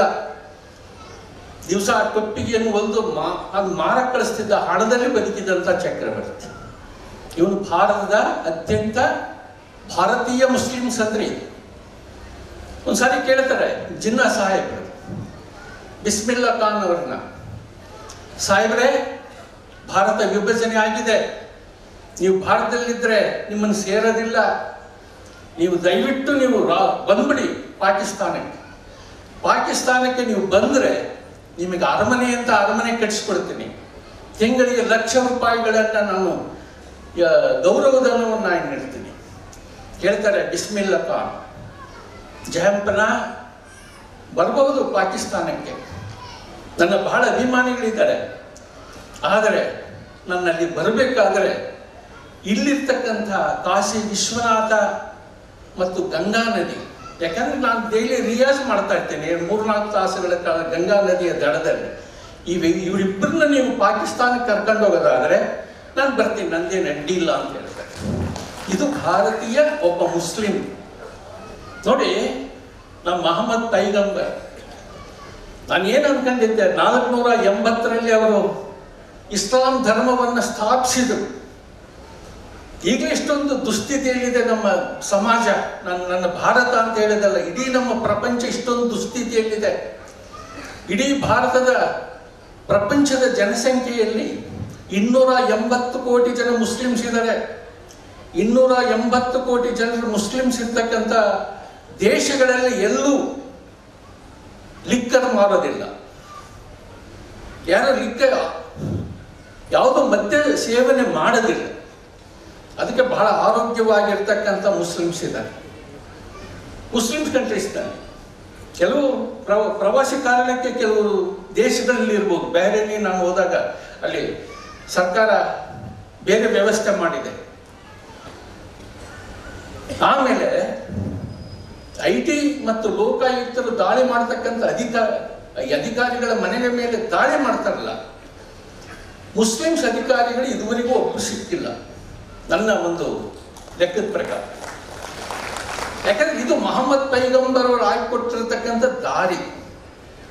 ಮಹಮ್ಮದ್ ಪೈಗಂಬರ್ ಎಂತ ಉದಾರವಾಗಿದ್ದರು ಅಂತ ಹೇಳಿದ್ರೆ, ನಲವತ್ತು ವರ್ಷಗಳ ಕಾಲ, ಅವರು ನಲವತ್ತು ವರ್ಷಗಳ ಅವಧಿಯ ಜೀವನವನ್ನು ನಾವು ಸ್ಟಡಿ ಮಾಡಿದರೆ ಅಧ್ಯಯನ ಮಾಡಿದರೆ ಇಡೀ ಎರಡು ಸಹಸ್ರಮಾನ ಸಮಾಜದ ಸಮಾಜವನ್ನು ಅಧ್ಯಯನ ಮಾಡಿದಷ್ಟು ಅನುಭವ ಸಿಗುತ್ತೆ ಆ ನಲವತ್ತು ವರ್ಷಗಳ ಅವಧಿಯಲ್ಲಿ. ಯಾಕಂದ್ರೆ ಒಬ್ಬ ದಾರ್ಶನಿಕ ಹುಟ್ಟುತ್ತಾನೆ ಅಂತ ಹೇಳಿದರೆ, ಎಲ್ಲ ದಾರ್ಶನಿಕರು ಹುಟ್ಟಿರ್ತಕ್ಕಂಥದ್ದು ಸುಭಿಕ್ಷಿತವಾಗಿರ್ತಕ್ಕಂಥ ಪ್ರದೇಶಗಳೆಲ್ಲ ಅಲ್ಲ.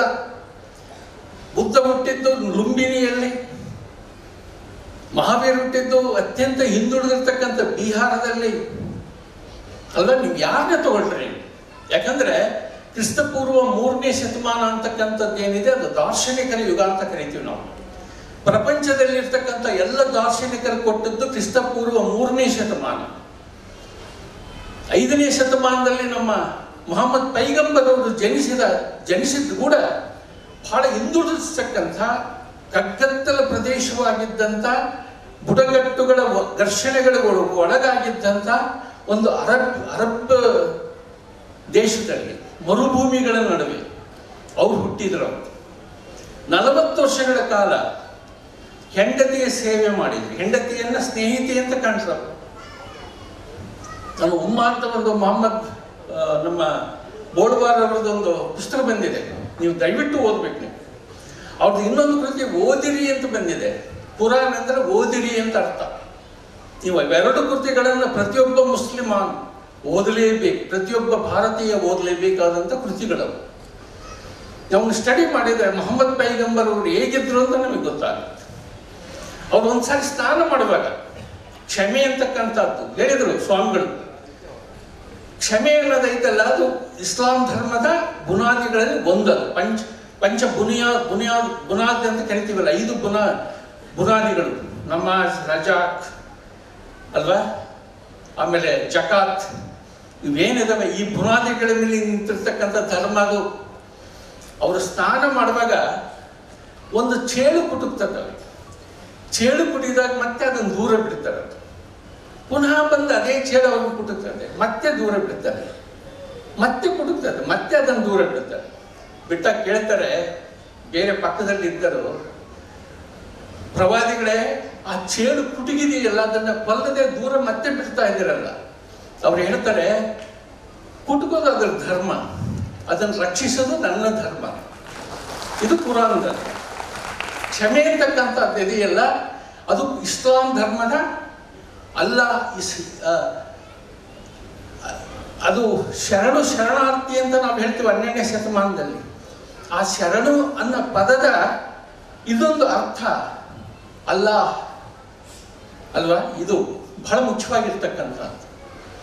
ನೋಡಿ, ಏಕ ದೇವೋಪಾಸನೆ ಅಂತಕ್ಕಂಥದ್ದು ಇದೆಯಲ್ಲ ಈ ಪ್ರಪಂಚದ ಎಲ್ಲ ಅನಿಷ್ಟಗಳಿಗೆ ಕಾರಣವಾಗಿರ್ತಕ್ಕಂಥದ್ದು ಈ ಪ್ರಪಂಚದಲ್ಲಿರ್ತಕ್ಕಂಥ ಅಸಂಖ್ಯಾತ ಜಾತಿಗಳು. ಭಾರತದಲ್ಲಿ ಸುಮಾರು ಹನ್ನೆರಡು ಸಾವಿರದ ಏಳ್ನೂರ ತೊಂಬತ್ತೆರಡು ಜಾತಿಗಳಿವೆ ಆ ಎಲ್ಲ ಜಾತಿಗಳಿಗೆ ಮುನ್ನೂರ ಮೂವತ್ತ್ಮೂರು ಕೋಟಿ ದೇವರುಗಳಿದ್ದಾವೆ. ಈ ದೇಶದಲ್ಲಿರ್ತಕ್ಕಂಥ ಪ್ರತಿಯೊಂದು ನದಿ ಪವಿತ್ರ, ಪ್ರತಿಯೊಂದು ಕಲ್ಲು ಪವಿತ್ರ, ಪ್ರತಿಯೊಂದು ಪ್ರಾಣಿ ಪವಿತ್ರ. ಈ ಭಾರತೀಯನನ್ನ, ಮನುಷ್ಯನನ್ನ ಯಾರು ಬೇಕಾದರೂ ಎದುರಿಸ್ಬೋದು, ಹೇಗೆ ಬೇಕಾದರೂ ಎದುರಿಸ್ಬೋದು. ಯಾಕಂದ್ರೆ ಅಸಂಖ್ಯಾತ ಜಾತಿಗಳು, ಅಸಂಖ್ಯಾತ ಧರ್ಮಗಳು, ಅಸಂಖ್ಯಾತ ದೇವರುಗಳು ಇರ್ತವೆ. ಇವ್ರನ್ನ ಸುಲಭವಾಗಿ ಎದುರಿಸಬಹುದಾದಂಥ ಭಯಪಡಿಸಬಹುದಾದಂಥ ಒಂದು ವೈದಿಕ ಶಾಹಿ ನಮ್ಮ ಸಮಾಜದ ನೇಪಥ್ಯದಲ್ಲಿ ಕೆಲಸ ಮಾಡ್ತಾ ಇದೆ ಜಸ್ಟ್ ಒಂದು ನಿಂಬೆಹಣ್ಣು ಕೂಡ ನಮ್ಮನ್ನು ಎದುರಿಸ್ತದೆ. ನೀವು ಮನೆ ಮುಂದೆ ಯಾರಾದರೂ ನಿಂಬೆಹಣ್ಣು ಕೊಯ್ದು ಅದಕ್ಕೆ ಸ್ವಲ್ಪ ಕುಂಕುಮ ಹಾಕಿಟ್ರೆ ನಮ್ಗೆ ದಾಟಕ್ಕೆ ಎದುರ್ತೀವಿ ನಾವು. ನಿಂಬೆಹಣ್ಣು ನಮ್ಮನ್ನು ಎದುರಿಸ್ತದೆ. ನಾವು ಎಷ್ಟೇ ವಿದ್ಯಾವಂತರಾಗಿದ್ದರೂ ಎಷ್ಟೇ ಬಲಿಷ್ಠರಾಗಿದ್ದರೂ ನಮ್ಮನ್ನು ಸುಲಭವಾಗಿ ಎದುರಿಸ್ಬೋದು ನಿಂಬೆಹಣ್ಣಿನಿಂದ. ಅಷ್ಟು ದುರ್ಬಲವಾಗಿರ್ತಕ್ಕಂಥ ಮನಸ್ಸುಗಳು ಒಂದು ಬಗೆಯಲ್ಲಿ ನನ್ನ ಒಳಗನ್ನು ನೋಡುವಂಥ, ನನ್ನ ಆಂತರ್ಯವನ್ನು ನೋಡುವಂಥ, ನಾನು ಏನು ಅನ್ನುವಂಥ, ನಾನು ಮತ್ತು ಇತರರ ಜೊತೆಗಿನ ನನ್ನ ಸಂಬಂಧದ ಸ್ವರೂಪ ಏನು? ಈ ಬಗೆಯ ಒಂದು ವಿಮರ್ಶೆಯನ್ನು ನಾನಿಲ್ಲಿ ಮಾಡ್ತಾ ಇದ್ದೇನೆ. ಈಗಾಗಲೇ ಸ್ವಾಮೀಜಿಯವರು ಕುರಾನಿನ ಒಂದು ಅರ್ಥ ವಿವರಣೆಯನ್ನು ನಮ್ಮ ಮುಂದೆ ಇಟ್ಟಿದ್ದಾರೆ. ಆ ಬಗೆಗಿನ ತಿಳುವಳಿಕೆ ನನ್ನಲ್ಲಿಲ್ಲ ಆದರೆ ಇಸ್ಲಾಮು ಸಮಾನತೆಯನ್ನು ಪ್ರತಿಪಾದಿಸಿದೆ.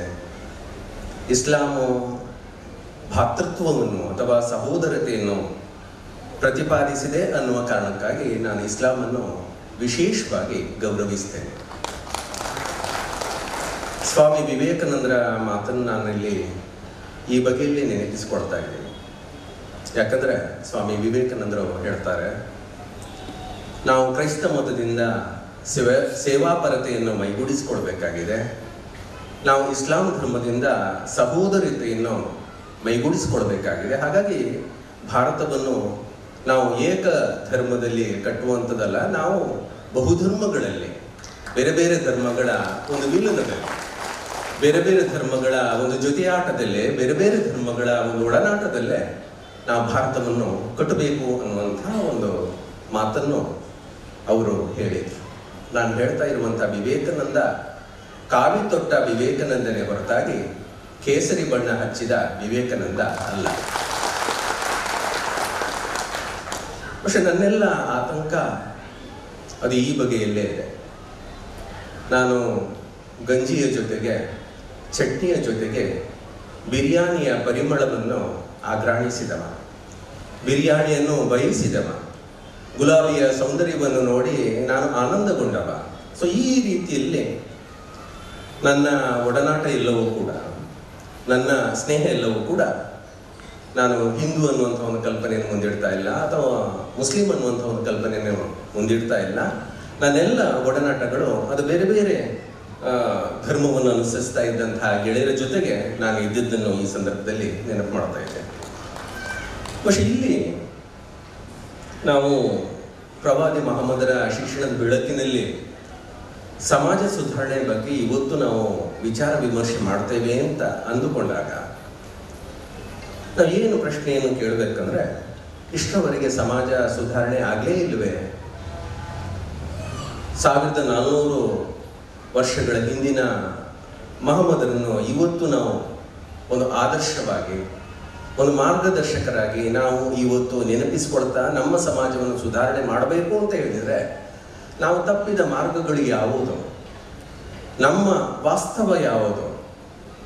ಮೊಹಮ್ಮದರನ್ನು ಒಂದು ಆದರ್ಶವಾಗಿ ನಾವು ಪರಿಕಲ್ಪಿಸಿಕೊಳ್ಳುವಾಗ ನಮ್ಮ ವಾಸ್ತವ ಯಾವುದು ಅನ್ನುವಂಥ ಮೂಲಭೂತವಾದಂಥ ಪ್ರಶ್ನೆಯನ್ನು ನಾವಿಲ್ಲಿ ಇಟ್ಟುಕೊಳ್ಬೇಕಾಗಿದೆ.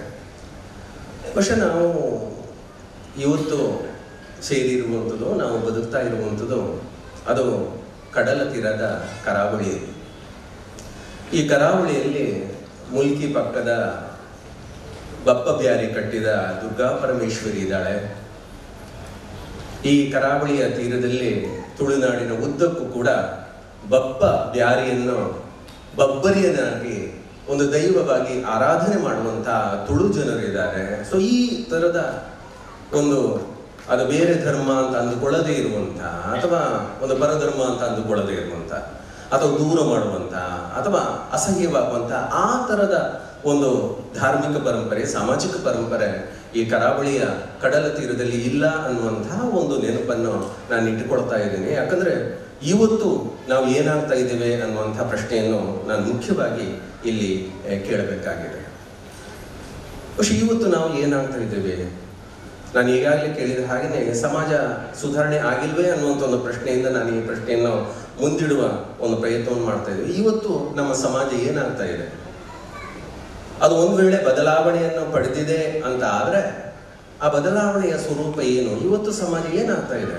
ಅದೊಂದು ನಿರ್ಬಂಧದ ಒಂದು ಸಮಾಜ ಆಗ್ತಾ ಇದೆ, ಒಂದು ನಿಯಂತ್ರಣದ ಒಂದು ಸಮಾಜ ಇರ್ತಿದೆ ಅಥವಾ ಒಂದು ಧರ್ಮ ಅಂದರೆ ಏನು? ನಾವು ಧಾರ್ಮಿಕವಾಗಿ ಬದುಕಬೇಕು ಅಂತ ಅನ್ನುವಂತಹ ಒಂದು ಆದರ್ಶವನ್ನು ನಾವು ಇಟ್ಕೊಳ್ಬೇಕು ಇಟ್ಕೊಳ್ತೇವೆ ಅಂತಾದ್ರೆ ಅಥವಾ ಒಂದು ನೈತಿಕತೆಯ ಸಮಾಜವನ್ನು, ಒಂದು ಧಾರ್ಮಿಕತೆಯ ನೆಲೆಯಲ್ಲಿ ನಾವು ಕಟ್ಟಬೇಕು ಅಂತಾದ್ರೆ ನಾವು ಧರ್ಮವನ್ನು ಹೇಗೆ ನಿರ್ವಚನ ಮಾಡ್ತಾ ಇದ್ದೇವೆ? ಧರ್ಮ ಅಂದ್ರೆ ಏನು? ಬಹುಶಃ ಈ ಧರ್ಮದ ಬಗ್ಗೆ ನಾವು ಯೋಚನೆ ಮಾಡಿದರೆ, ಇವತ್ತು ಯಾವುದನ್ನು ನಾವು ಕ್ರಿಶ್ಚಾನಿಟಿ ಅಂತ ಅಂದ್ಕೊಳ್ತೇವೋ, ಇವತ್ತು ನಾವು ಯಾವುದನ್ನು ಇಸ್ಲಾಂ ಅಂತ ಅಂದ್ಕೊಳ್ತೇವೋ ಆ ಎರಡೂ ಧರ್ಮಗಳು ಕೂಡ ವಿದ್ವಾಂಸರುಗಳು ಗುರುತಿಸುವ ಹಾಗೆ ಅವನ್ನು ಸೆಮಿಟಿಕ್ ರಿಲಿಜಿಯನ್ ಅಂತ ಕರೀತಾರೆ. ಈ ಸೆಮೆಟಿಕ್ ರಿಲಿಜನ್ ಅಂತ ಹೇಳುವಂತಹ ಎರಡೂ ಧರ್ಮಗಳಲ್ಲಿ ಒಂದು ಪವಿತ್ರವಾದಂತಹ ಒಂದು ಗ್ರಂಥ ಅನ್ನೋದು ಇರಬೇಕು.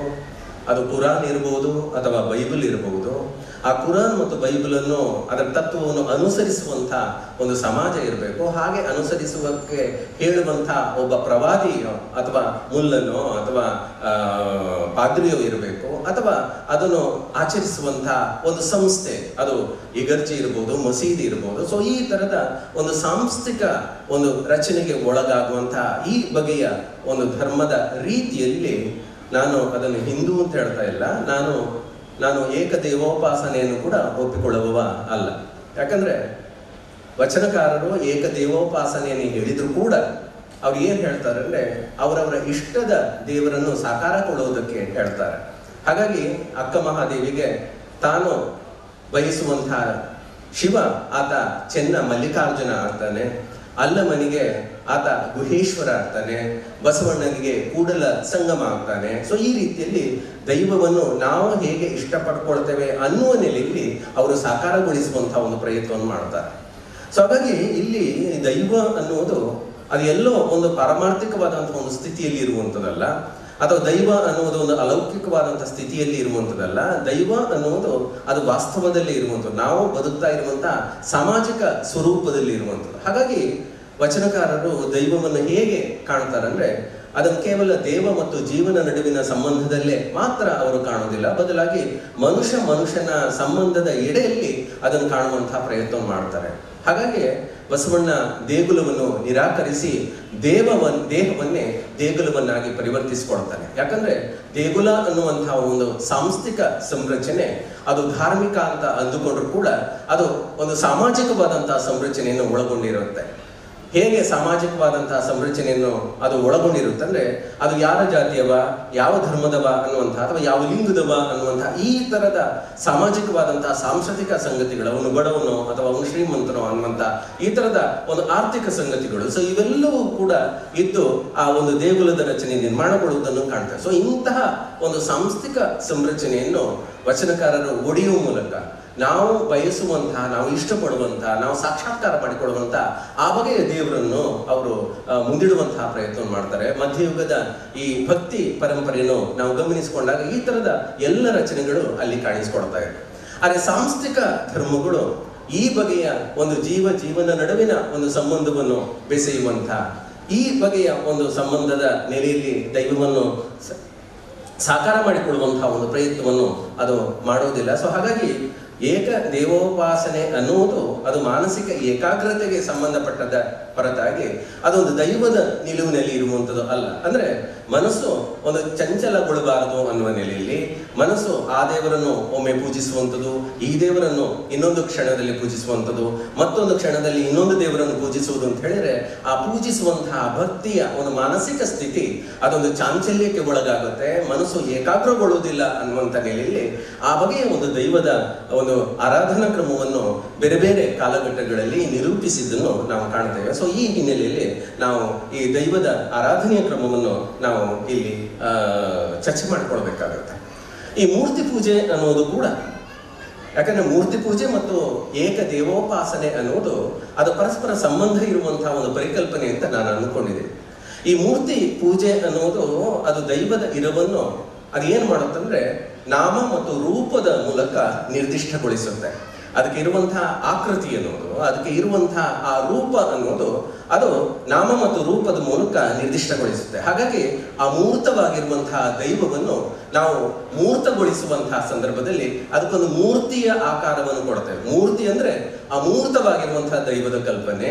ಈ ಅಮೂರ್ತವಾಗಿರುವಂತಹ ದೈವದ ಕಲ್ಪನೆ ಒಂದು ಆಕಾರವನ್ನು ಪಡ್ಕೊಳ್ಳುವ ಮೂಲಕ ಆ ಮೂರ್ತಿ ಅದು ಹನುಮಂತನೋ, ಆ ಮೂರ್ತಿ ಅದು ನಾರಾಯಣನೋ, ಆ ಮೂರ್ತಿ ಅದು ಶಿವನೋ ಅನ್ನುವಂತಹ ಈ ತರದ ಒಂದು ನಿರ್ದಿಷ್ಟ ನಾಮದ ಮೂಲಕ ಅದು ಮೂರ್ತಗೊಳ್ಳುವ ಕಾರಣಕ್ಕಾಗಿ ಅದು ಮೂರ್ತಿ ಆಗುತ್ತೆ ಸೊ ಈ ತರ ಈ ಮೂರ್ತಿಯ ಮೂಲಕ ನಿರ್ದಿಷ್ಟಗೊಳ್ಳುವಂತಹ ಈ ಬಗೆಯ ಕಲ್ಪನೆಯನ್ನು ನಿರಾಕರಿಸುವಂತಹ ಬೇರೆ ಬೇರೆ ಧಾರ್ಮಿಕ ಪರಂಪರೆಗಳು ದೈವವನ್ನು ನಿರಾಕಾರವಾಗಿ ಕಾಣುತ್ತೆ, ದೈವವನ್ನು ಒಂದು ನಿರ್ಗುಣವಾಗಿ ಕಾಣುತ್ತೆ. ಹಾಗಾಗಿ ಈ ಆಕಾರ ಇಲ್ಲದೆ ಇರುವಂತಹ, ಗುಣವೇ ಇಲ್ಲದಿರುವಂತಹ ಈ ಬಗೆಯ ದೈವ ಅದು ಮನುಷ್ಯನಿಂದ ಅತೀತ ಅಂತ ಹೇಳುವಂಥ ಮನುಷ್ಯನಿಂದ ಅದು ದೊಡ್ಡದು ಅಂತ ಹೇಳೋದು ಮನುಷ್ಯನಿಂದ ಅದು ಶ್ರೇಷ್ಠವಾದದ್ದು ಅಂತ ಹೇಳೋದು ಸೊ ಆ ಬಗೆಯ ಒಂದು ದೈವವನ್ನು ಉನ್ನತೀಕರಿಸಿಕೊಂಡಂತಹ ಈ ಬಗೆಯ ಈ ಧಾರ್ಮಿಕ ಪರಿಪಾಠಗಳು ಮನುಷ್ಯನನ್ನು ಆತನನ್ನು ಕುಬ್ಜವಾಗಿ ಕಾಣುವಂತಹ ಪ್ರಯತ್ನವನ್ನು ಮಾಡಿತ್ತು ಮನುಷ್ಯ ತನ್ನ ಅಹಮ್ಮನ್ನು ನಿರಸನಗೊಳಿಸಬೇಕು ಅನ್ನುವಂತಹ ಪ್ರಯತ್ನ ಮಾಡಿದ್ದೆ ಹೊರತಾಗಿ ಬೇರೆ ಯಾವುದೋ ಒಂದು ಧರ್ಮಗಳನ್ನು ಅಥವಾ ದೇವರುಗಳನ್ನು ಅವರು ನಿರಾಕರಿಸುವುದು ಅನ್ನುವಂತಹ ನೆಲೆಯಲ್ಲಿ ನಾವು ಇದನ್ನು ವ್ಯಾಖ್ಯಾನ ಮಾಡಿಕೊಳ್ಬೇಕಾದಂತಹ ಅಗತ್ಯ ಇಲ್ಲ.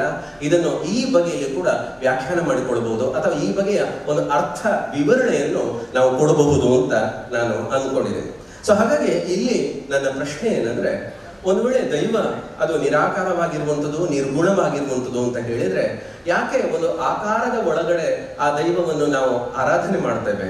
ಅಥವಾ ಒಂದು ಆಕಾರದ ಒಳಗಡೆ ಯಾಕೆ ನಾವು ಒಂದು ಪ್ರಾರ್ಥನೆ ಮಾಡ್ತೇವೆ? ಯಾಕೆ ಆಕಾರದ ಆಚೆಗೆ ಇರುವಂತಹ ಅಥವಾ ಆಲಯದ ಆಚೆಗೆ ಇರುವಂತಹ ಬಯಲಲ್ಲಿ ಯಾಕೆ ನಿರ್ಗುಣನಾಗಿರುವಂತಹ ನಿರಾಕಾರನಾಗಿರುವಂತಹ ದೈವದ ಉಪಾಸನೆ ಸಾಧ್ಯ ಆಗುವುದಿಲ್ಲ ಅನ್ನುವಂಥ ಒಂದು ಪ್ರಶ್ನೆಯನ್ನು ನಾವು ಇಟ್ಟುಕೊಳ್ಬೇಕಾಗುತ್ತೆ. ಸೊ ಹಾಗಾಗಿ ಒಂದು ಕಡೆಯಲ್ಲಿ ದೈವವನ್ನು ನಿರಾಕಾರ ಅಂತ ಹೇಳ್ಕೊಳ್ಳುವಂಥದ್ದು, ಒಂದು ಕಡೆಯಲ್ಲಿ ದೈವವನ್ನು ನಿರ್ಗುಣ ಅಂತ ಹೇಳ್ಕೊಳ್ಳುವಂಥದ್ದು, ಇನ್ನೊಂದು ಕಡೆಯಲ್ಲಿ ಅಂತಹ ದೈವದವನ್ನು ಕಲ್ಪಿಸಿಕೊಂಡೇ ಒಂದು ಆಲಯದಲ್ಲಿ ನಾವು ಉಪಾಸನೆ ಮಾಡ್ತೇವೆ ಅಂತ ಹೇಳಿದ್ರೆ, ಬಹುಶಃ ಇದು ನಾನು ಹೇಗೆ ಅರ್ಥ ಮಾಡಿಕೊಳ್ಬೇಕು ಅನ್ನೋದು ನಂಗೆ ಗೊತ್ತಾಗ್ತಾ ಇಲ್ಲ.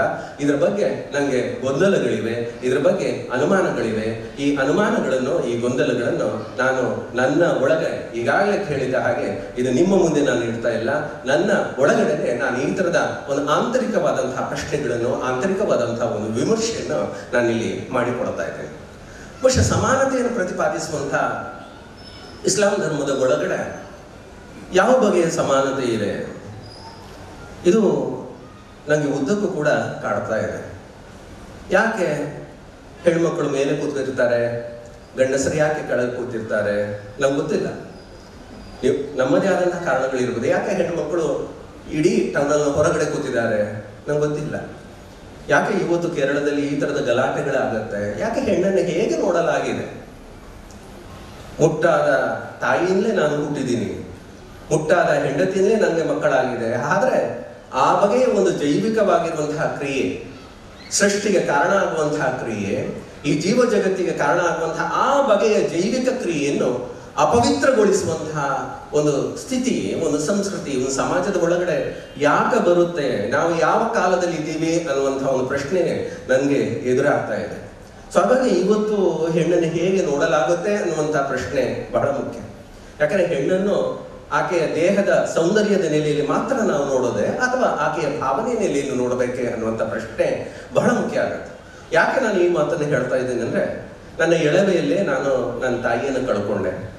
ತಾಯಿ ತೀರಿಕೊಂಡಾಗ ತಂದೆಗೆ ಏನೂ ಆಗಿರಲಿಲ್ಲ, ದುಃಖ ಆಯಿತು, ಅವರು ದುಃಖ ಪಡ್ಕೊಂಡ್ರು ಅಷ್ಟೇ. ನನ್ನ ಮನೆಯಲ್ಲೇ ನನ್ನ ಚಿಕ್ಕಪ್ಪ ತೀರ್ಕೊಂಡ್ರು, ಚಿಕ್ಕಮ್ಮ ದುಃಖಿತರಾದ್ರು.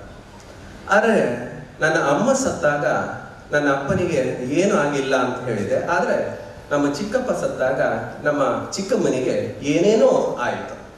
ಹೆಣದ ಎದುರು ಕೂತಿದ್ದಂತಹ ನನ್ನ ಚಿಕ್ಕಮ್ಮನ ತಲೆಯಲ್ಲಿ ಮುಡಿದಂತಹ ಹೂವನ್ನು ಕಿತ್ತು ತೆಗೆದರು. ಹಣೆಯಲ್ಲಿದ್ದಂತಹ ಕುಂಕುಮದ ಬೊಟ್ಟನ್ನು ಅಳಿಸಿದರು. ಕೈಯಲ್ಲಿದ್ದಂತಹ ಬಳೆಯನ್ನು ಒಡೆದು ಹಾಕಿದರು. ಕುತ್ತಿಗೆ ಕಟ್ಟಿದ್ದ ಮಾಂಗಲ್ಯವನ್ನು ಕಳಚಿ ಆಕೆಯನ್ನು ಅಮಂಗಳ ಮಾಡಿದರು. ಬಹುಶಃ ಈ ತರದ ಒಂದು ಸ್ಥಿತಿ. ಯಾಕೆ ಹೆಂಡತಿ ಸತ್ತಾಗ ಗಂಡನಿಗೆ ಆಗೋದಿಲ್ಲ ಯಾಕೆ ಹೆಂಡತಿ ಗಂಡ ಸತ್ತಾಗ ಹೆಂಡತಿಗೆ ಆಗುತ್ತೆ? ಈ ತರದ ಪ್ರಶ್ನೆ ಎಳವೆಯಲ್ಲೇ ನನ್ನನ್ನು ಕಾಡಿತು ಈ ತರದ ಪ್ರಶ್ನೆ ಎಳವೆಯಲ್ಲಿ ಕಾಡಿದ್ರು ಕೂಡ ಆ ಪ್ರಶ್ನೆಗೆ ಇವತ್ತು ಕೂಡ ಉತ್ತರಗಳು ಸಿಗ್ತಾ ಇಲ್ಲ. ಸೊ ಹಾಗಾಗಿ ನಾವು ಇವತ್ತು ಸಮಾನತೆ ಅನ್ನುವಂತಹ ಒಂದು ಮೌಲ್ಯವನ್ನು ನಾವು ಪ್ರತಿಪಾದಿಸ್ತೇವೆ ಅಂತಾದ್ರೆ ಗಂಡು ಮತ್ತು ಹೆಣ್ಣಿನ ನಡುವೆ ಇರುವಂತಹ ಈ ಭೇದಗಳು.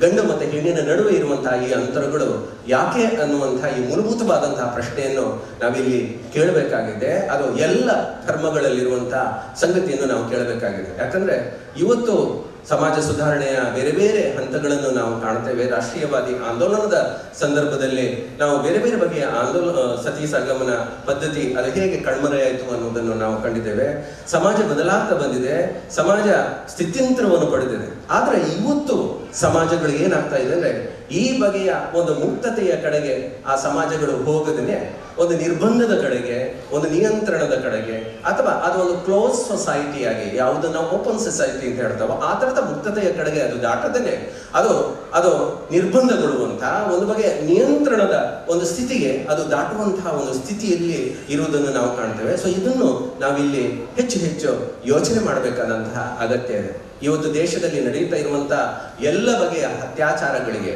ಹೆಣ್ಣಿನ ಮೇಲೆ ನಡೀತಾ ಇರುವಂತಹ ಅತ್ಯಾಚಾರಗಳಿಗೆ ಗಂಡಿನ ದೌರ್ಬಲ್ಯನೇ ಹೊತ್ತಾಗಿ ಹೆಣ್ಣು ತನ್ನ ಮೈಯನ್ನು ತೋರಿಸಿದು ಕಾರಣ ಅಂತ ಹೇಳೋದನ್ನು ನಾನು ಒಪ್ಪುವುದೇ ಇಲ್ಲ. ಇದಕ್ಕೆ ಎಲ್ಲ ಕಡೆಯಲ್ಲೂ ಕೂಡ ಗಂಡೇ ಕಾರಣ. ಸೊ ಹಾಗಾಗಿ ನಾವು ಇವತ್ತು ಗಂಡಿನ ಬಗ್ಗೆ ಹೇಳಬೇಕಾಗಿದೆ. ಮೈ ಮುಚ್ಚಿಕೊಳ್ಳುವಂತಹ ಹೆಣ್ಣಿನ ಎದುರು ಇರುವಂತಹ ಗಂಡು ಆ ಗಂಡಿನ ಬಗ್ಗೆ ನಂಬಿಕೆ ಇಲ್ಲ ಅಂತ ಸಮಾಜ ಹೇಳ್ತಾ ಇದೆ.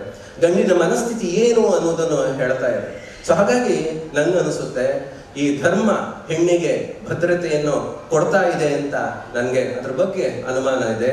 ಗಂಡಿನ ನಾನು ಹೆಣ್ಣನ್ನು ನೋಡುವ ಬದಲು ಆ ಸಮಾಜದ ಗಂಡನ್ನು ನೋಡುವಂತಹ ಪ್ರಯತ್ನವನ್ನು ಮಾಡ್ತಾ ಇದ್ದೇನೆ. ನನಗೆ ಹೆಣ್ಣು ಕಾಣ್ತಾ ಇಲ್ಲ. ಆ ಹೆಣ್ಣು ತನ್ನಂತಾನು ರಕ್ಷಣೆ ಮಾಡಿಕೊಳ್ಬೇಕಾದಂತಹ ಒಂದು ಸ್ಥಿತಿಯಲ್ಲಿ ಆಕೆ ಇದ್ದಾಳೆ ಅಂತಾದ್ರೆ ಆಕೆಯ ಎದುರಿರುವಂತಹ ಗಂಡು ಆತ ಆಕ್ರಮಣಕಾರನೋ ಅನ್ನುವಂತ ಅಥವಾ ಆತನ ಮನಸ್ಥಿತಿ ಅದೊಂದು ಚಾಂಚಲ್ಯದ ಸ್ಥಿತಿಯ ಅಂತ ಕೇಳುವಂತ ಆ ಬಗೆಯ ಒಂದು ಸಂಗತಿಗಳು ನಡೆಯುತ್ತೆ ಅಂತಾದ್ರೆ ಅದು ಗಂಡಿನ ದೌರ್ಬಲ್ಯವೇ ಹೊರತಾಗಿ ಅದು ಹೆಣ್ಣಿನ ಒಂದು ಸ್ಥಿತಿಗತಿಗಳು ಅಲ್ಲ ಅನ್ನುವುದನ್ನು ನಾನು ಇಲ್ಲಿ ಹೇಳ್ತೇನೆ. ಹಾಗಾಗಿ ಹೆಣ್ಣನ್ನು ನಾವೊಂದು ಭೋಗದ ವಸ್ತುವಾಗಿ, ಹೆಣ್ಣನ್ನು ಒಂದು ಸೌಂದರ್ಯದ ಮುದ್ದೆಯಾಗಿ ನಾವು ನೋಡುವ ಬದಲು ಆಕೆಯನ್ನು ಮನುಷ್ಯಳನ್ನಾಗಿ, ಆಕೆಯನ್ನು ಒಂದು ಭಾವನೆಯ ಒಂದು ಜೈವಿಕ ಒಂದು ಸ್ಥಿತಿಯಾಗಿ ನಾವು ನೋಡಬೇಕಾದಂತಹ ಅಗತ್ಯ ಇದೆ. ಆ ಬಗೆಯ ಒಂದು ಪರಿವರ್ತನೆಗಳು. ಆ ಬಗೆಯ ಬದಲಾವಣೆಗಳು ಸಾಮಾಜಿಕವಾಗಿ ನಡೀಲಿಕ್ಕೆ ಸಾಧ್ಯನೇ ಅನ್ನುವಂಥ ಪ್ರಶ್ನೆಯನ್ನು ನಾವು ಕೇಳಬೇಕಾಗಿದೆ. ಯಾಕಂದ್ರೆ ಇವತ್ತು ಯಾವುದೇ ಬಗೆಯ ಶಿಕ್ಷಣ ಇದ್ರೂ ಕೂಡ ಅದು ಧರ್ಮವನ್ನು ಎಲ್ಲೂ ಕೂಡ ಪ್ರಶ್ನೆ ಮಾಡೋದಿಲ್ಲ. ಧಾರ್ಮಿಕತೆಯನ್ನು ಪ್ರಶ್ನೆ ಮಾಡದೇ ಇರುವಂತಹ ಒಂದು ಶಿಕ್ಷಣ ಮತ್ತು ಶಿಕ್ಷಣದ ಮೂಲಕ ನಮ್ಮನ್ನ ನಾವು ಹೆಚ್ಚು ಧಾರ್ಮಿಕಗೊಳಿಸುವಂತಹ ಒಂದು ಶಿಕ್ಷಣ ಇವತ್ತು ಸಿಗ್ತಾ ಇದೆ. ಮೂಲಭೂತವಾಗಿ ಆಧುನಿಕ ಶಿಕ್ಷಣ ಎಲ್ಲವೂ ಕೂಡ ನಾವು ವೆಸ್ಟಿನ ಬೇರೆ ಬೇರೆ ಸಂಗತಿಗಳನ್ನು ನಾವು ಗಮನಿಸ್ತೇವೆ. ಚರ್ಚ್ ಆಧಾರಿತವಾದಂತಹ ಈ ಧಾರ್ಮಿಕ ಕೇಂದ್ರಗಳನ್ನು ಪಶ್ಚಿಮದಲ್ಲಿ ಶಿಕ್ಷಣ ಪ್ರಶ್ನೆ ಮಾಡುತ್ತೆ. ಎಲ್ಲ ಸ್ಥಿತಿಗತಿಗಳು ಈ ಭೂಮಿಯಲ್ಲಿ ನಡೆಯುವಂತ ಎಲ್ಲ ಬಗೆಯ ಸ್ಥಿತಿಗಳಿಗೆ ದೈವ ಕಾರಣ ಅಂತ ಹೇಳಿಕೊಳ್ಳುವಂತಹ ದೈವ ನಿಯಾಮಕ ಅಂತ ಹೇಳಿಕೊಳ್ಳುವಂತಹ ಆ ಮಸೀದಿಯ ಸಾರಿ ಆ ಚರ್ಚಿನ ನಿಯಂತ್ರಣದಲ್ಲಿದ್ದಂತಹ ಆ ಬಗೆಯ ಸಮಾಜದಲ್ಲಿ ಶಿಕ್ಷಣದ ಮೂಲಕ ಪರಿವರ್ತನೆಗೊಳ್ಳುವುದನ್ನು ನಾವು ಕಾಣ್ತೇವೆ. ಅಂದ್ರೆ ಶಿಕ್ಷಣ ಮೂಲಭೂತವಾಗಿ ಧಾರ್ಮಿಕ ಹಿಡಿತಗಳನ್ನು ಪ್ರಶ್ನೆ ಮಾಡಿತ್ತು. ಆದರೆ ಇವತ್ತು ಶಿಕ್ಷಣ ಅನ್ನೋದು ಅದು ಧಾರ್ಮಿಕ ಓಡ್ತಾ ಇದೆ. ಸೊ ಹಾಗಾಗಿ ನಾನು ಮತ್ತೆ ಮತ್ತೆ ಪ್ರಶ್ನೆಯನ್ನು ಕೇಳ್ತಾ ಇದ್ದೀನಿ. ಯಾವ ಬಗೆಯ ಒಂದು ಪರಿವರ್ತನೆಯ ಕಡೆಗೆ ಸಮಾಜ ಹೋಗ್ತಾ ಇದೆ ಯಾವ ಬಗೆಯ ಸುಧಾರಣೆಯನ್ನು ಸಮಾಜ ಪಡೀತಾ ಇದೆ? ಸೊ ಈ ಬಗೆಯ ಮೂಲಭೂತವಾದಂತಹ ಪ್ರಶ್ನೆಗಳನ್ನು ನಾವು ಕೇಳದೇ ಇದ್ರೆ ಬಹುಶಃ ನಮ್ಮ ವಿಮರ್ಶೆಗಳು, ನಮ್ಮ ವಿಚಾರಗಳು ಅದು ವಿಚಾರಗಳು ಅಂತ ಅನಿಸುತ್ತಾ ಇಲ್ವೋ ಗೊತ್ತಿಲ್ಲ. ಯಾಕಂದ್ರೆ ಇದು ನನ್ನ ಕಣ್ಣೋಟದ ವಿಚಾರಗಳು, ನನ್ನ ದೃಷ್ಟಿಕೋನದ ವಿಚಾರಗಳು. ಹಾಗಾಗಿ ಎಲ್ಲವೂ ಕೂಡ ನಮ್ಮ ಯಾವುದನ್ನು ನಾವು ಇರವು ಅಂತ ಹೇಳ್ತೇವೆ, ಯಾವುದನ್ನು ನಾವು ಇರುವಿಕೆ ಅಂತ ಹೇಳ್ತೇವೆ. ಬೀಯಿಂಗ್ ಅಂತ ಯಾವುದನ್ನು ನಾವು ಹೇಳ್ತೇವೋ, ಆ ಬಗೆಯ ಇರುವಿಕೆ, ಆ ಬಗೆಯ ನಮ್ಮ ಈ ವಾಸ್ತವ, ಅದು ವಾಸ್ತವವೇ ಆಗಿರುವುದಿಲ್ಲ. ಅದನ್ನು ನಾವು ಹೇಗೆ ನೋಡ್ತೇವೆ ಅನ್ನುವ ನೆಲೆಯಲ್ಲಿ ಅದನ್ನು ನಾವು ಹೇಗೆ ಗ್ರಹಿಸ್ತೇವೆ ಅನ್ನುವ ನೆಲೆಯಲ್ಲಿ, ಅದರ ಜೊತೆಗೆ ನಾವು ಯಾವ ಬಗೆಯ ಸಂಬಂಧಗಳನ್ನು ಕಲ್ಪಿಸಿಕೊಡ್ತೇವೆ ಅನ್ನುವ ನೆಲೆಯಲ್ಲಿ ಅವುಗಳಿಗೆ ಅರ್ಥ ಅನ್ನೋದು ಇರುತ್ತೆ ಹೊರತಾಗಿ, ಅರ್ಥ ಅನ್ನೋದು ಅಲ್ಲೇ ಇರುವಂಥದ್ದು ಅಲ್ಲ. ಹಾಗಾಗಿ ಒಂದು ಗ್ರಂಥ ಅನ್ನೋದು ಅದು ಕುರಾನ್ ಇರ್ಬೋದು, ಬೈಬಲ್ ಇರ್ಬೋದು, ಅಥವಾ ಭಗವದ್ಗೀತೆ ಇರ್ಬೋದು, ಅದು ಕೇವಲ ಅದರ ಓದಿನ ಮೂಲಕ ಅದು ತನ್ನ ಗತವನ್ನು ಪುನರ್ರಚನೆ ಮಾಡಿಕೊಳ್ಳುವಂಥದ್ದು ಮಾತ್ರ ಅಲ್ಲ, ಇತಿಹಾಸವನ್ನು ಅದು ಪುನರ್ರಚನೆ ಮಾಡಿಕೊಳ್ಳುವಂಥದ್ದಲ್ಲ. ನಾವು ವರ್ತಮಾನದಲ್ಲಿ ಅದಕ್ಕೆ ಯಾವ ಬಗೆಯ ಅರ್ಥಗಳನ್ನು ಕಟ್ಟುತ್ತೇವೆ ಅನ್ನುವ ನೆಲೆಯಲ್ಲಿ ಅದರಲ್ಲಿ ಅರ್ಥಗಳು ಇರುತ್ತೆ ಹೊರತಾಗಿ ಅರ್ಥ ಅನ್ನೋದು ತಟಸ್ಥ ಆಗಿರುವಂಥದ್ದು ಅಲ್ಲ. ಅರ್ಥ ಅನ್ನೋದು ಸಿದ್ಧ ಅರ್ಥ ಅಲ್ಲ. ಸೊ ಹಾಗಾಗಿ ಈ ಆ ಕಾಲದಲ್ಲಿ ಆ ಪಠ್ಯಗಳಿಗೆ ಆ ಅರ್ಥಗಳು ಇದ್ರೂ ಕೂಡ ಈ ಕಾಲದಲ್ಲಿ ನಾವು ಅದನ್ನು ಮನನ ಮಾಡುವಂತಹ ರೀತಿ ನೀತಿಗಳು, ಈ ಕಾಲದಲ್ಲಿ ನಾವು ಅದನ್ನು ಮನನ ಮಾಡುವಂತಹ ವಿನ್ಯಾಸಗಳು, ಅದು ನಮ್ಮ ಕಾಲದ ಅಗತ್ಯಗಳಿಗೆ ಅನುಗುಣವಾಗಿ ಇರುತ್ತೆ ಹೊರತಾಗಿ ಆ ಕಾಲದ ಅಗತ್ಯಗಳಿಗೆ ಇರುವಂಥದ್ದು ಅಲ್ಲ. ಸೊ ಹಾಗಾಗಿ ಧರ್ಮ ಅಂದರೆ ಏನು ಅನ್ನುವ ಒಂದು ನಿರ್ವಚನವನ್ನು ನಾವು ಉದ್ದಕ್ಕೂ ಕೂಡ ಮಾಡಬೇಕಾಗಿದೆ. ಯಾಕಂದರೆ ನಮ್ಮಲ್ಲಿ ಧರ್ಮ ಅನ್ನುವುದಕ್ಕೆ ಒಂದು ಪಾಲನೆ ಅನ್ನುವಂತಹ ಅರ್ಥಗಳನ್ನು ನಾವು ಕಾಣ್ತೇವೆ. ನಾವು ಒಂದು ಕರ್ತವ್ಯ ಅನ್ನುವಂತಹ ಅರ್ಥಗಳನ್ನು ನಾವು ಕಾಣ್ತೇವೆ. ಅಧ್ಯಾಪಕನಾದ ನನಗೆ ಒಂದು ಅಧ್ಯಾಪಕನ ಧರ್ಮ ಅಂತ ಇದೆ ಅಥವಾ ಒಬ್ಬ ರಾಜನಿಗೆ ಹೇಗೆ ಪ್ರಜೆಗಳನ್ನು ಪಾಲನೆ ಮಾಡುವಂತಹ ಒಂದು ಧರ್ಮ ಇರುತ್ತೋ, ಅಥವಾ ಇನ್ಯಾವುದೋ, ಅವರವರ ವೃತ್ತಿಗಳಿಗೆ ಸಂಬಂಧಪಟ್ಟ ಹಾಗೆ, ಅವರವರ ಕಸುಬುಗಳಿಗೆ ಸಂಬಂಧಪಟ್ಟ ಹಾಗೆ, ಅವರವರ ಜವಾಬ್ದಾರಿಗಳಿಗೆ ಸಂಬಂಧಪಟ್ಟ ಹಾಗೆ ಆ ಪಾಲನೆ ಅನ್ನುವಂತಹ ಅರ್ಥದಲ್ಲಿ ಧರ್ಮ ಹಿಂತೆ ಹೊರತಾಗಿ ಒಂದು ಸಾಂಸ್ಥಿಕ ನಿಯಂತ್ರಣವಾಗಿ, ಒಂದು ಸಾಂಸ್ಥಿಕ ನಿರ್ಬಂಧವಾಗಿ ಧರ್ಮ ಅನ್ನೋದು ಇರುವಂಥದ್ದು ಅಲ್ಲ. ನಾವು ಇವತ್ತು ಧರ್ಮವನ್ನು ಪರಿಕಲ್ಪಿಸಿಕೊಳ್ಳುವಂಥದ್ದು ರಿಲೀಜಿಯನ್ ಅನ್ನುವಂತಹ ಒಂದು ಪದದ ಅರ್ಥದಲ್ಲೇ ಹೊರತಾಗಿ ನಮ್ಮ ಸಾಂಪ್ರದಾಯಿಕವಾದಂತಹ ಒಂದು ಅರ್ಥದಲ್ಲಿ ಅಲ್ಲ. ಬಹುಶಃ ಇವತ್ತು ನಾವು ನಮ್ಮ ನಮ್ಮ ಈ ಸಂಪ್ರದಾಯಗಳಿಗೆ ಏನು ಅನ್ನೋದನ್ನು ಹುಡುಕುವಂತಹ ಪ್ರಯತ್ನವನ್ನು ಮಾಡಬೇಕಾಗತ್ತೆ. ಯಾಕಂದ್ರೆ ನಾನು ಇವತ್ತು ಈ ಕರಾವಳಿ ತೀರದ ಬದುಕಿನ ಬಗ್ಗೆ ಹೇಳ್ತಾ ಇದ್ದೇನೆ. ಯಾಕೆ ಕರಾವಳಿ ತೀರದ ಈ ಸಮಾಜ, ಮುಸ್ಲಿಂ ಸಮಾಜ ಇರ, ಅಥವಾ ಇವತ್ತು ನಾವು ಕಾಣುವಂತಹ ಹಿಂದೂ ಇರಬಹುದು ಇದು ಯಾಕೆ ಈ ತರ ಇದೆ? ಬಹುಶಃ ಎಲ್ಲ ಮುಸ್ಲಿಮು ಅಂತಾದ್ರೆ, ಯಾಕೆ ಮಲೆನಾಡಿನ ಮುಸ್ಲಿಮರು ಆ ಕರಾವಳಿ ಬಗೆಯಲ್ಲೇ ಇಲ್ಲ. ಅಥವಾ ಬೇರೆ ಕಡೆಯ ಮುಸ್ಲಿಮರು, ಈ ಕರ್ನಾಟಕದ ಒಳಗಡೆ ಇರುವಂತಹ ಈ ಪ್ರಾಂತೀಯ ಮುಸ್ಲಿಮರ ಬದುಕು, ಅದು ಒಂದೇ ರೀತಿಯಲ್ಲಿ ಒಂದೇ ಧರ್ಮ ಅಂತ ಆದ್ರೆ ಯಾಕೆ ಇಲ್ಲ ಅನ್ನುವಂತ ಒಂದು ಪ್ರಶ್ನೆ ನನ್ನನ್ನು ಕಾಡುತ್ತೆ. ಯಾಕಂದ್ರೆ ನಾನು ಮೂವತ್ತ ಏಳು ವರ್ಷಗಳಲ್ಲಿ ಮಂಗಳೂರು ವಿಶ್ವವಿದ್ಯಾಲಯ ತಂಡ ವಿಭಾಗದಲ್ಲಿ ಪಾಠ ಮಾಡ್ತಾ ಇದ್ದೀನಿ. ಮೂವತ್ತ ಏಳು ತಂಡಗಳು ವಿಭಾಗದಲ್ಲಿ ಇದ್ದದ್ದನ್ನು ನಾನು ನೋಡಿದ್ದೀನಿ.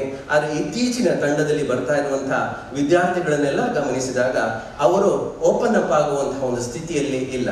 ಬಹಳಷ್ಟು ವರ್ಷಗಳ ಹಿಂದಿನ ವಿದ್ಯಾರ್ಥಿಗಳು ತರಗತಿಯಲ್ಲಿ ಹೇಳಿದಂತಹ ವಿಚಾರಗಳನ್ನು ಅವರು ಮನನ ಮಾಡ್ತಾ ಇದ್ರು, ಪ್ರಶ್ನೆ ಮಾಡ್ತಾ ಇದ್ರು. ಆದರೆ ಇವತ್ತಿನ ವಿದ್ಯಾರ್ಥಿಗಳು, ಅದು ಬೇರೆ ಬೇರೆ ಧಾರ್ಮಿಕ ಪರಂಪರೆಯಲ್ಲಿ ಬಂದಂತಹ ವಿದ್ಯಾರ್ಥಿಗಳು, ಅವರು ಓಪನ್ ಅಪ್ ಆಗ್ತಾ ಇಲ್ಲ, ಮನನ ಮಾಡ್ತಾ ಇಲ್ಲ. ಬಹುಶಃ ಈ ಬಗೆಯ ಒಂದು ಸಂದಿಗ್ಧತೆಯಲ್ಲಿ ನಾವು ನಮ್ಮ ಸಮಾಜದ ಸ್ಥಿತಿಗಳನ್ನು, ಗತಿಗಳನ್ನು ಅರ್ಥ ಮಾಡಿಕೊಳ್ಬೇಕಾಗಿದೆ. ಹಾಗಾಗಿ ನಮ್ಮ ಸಮಾಜ, ಅದು ನಿರ್ಬಂಧಿತ ಸಮಾಜನೇ ಅಥವಾ ನಮ್ಮ ಸಮಾಜ ಮುಕ್ತ ಸಮಾಜನೇ.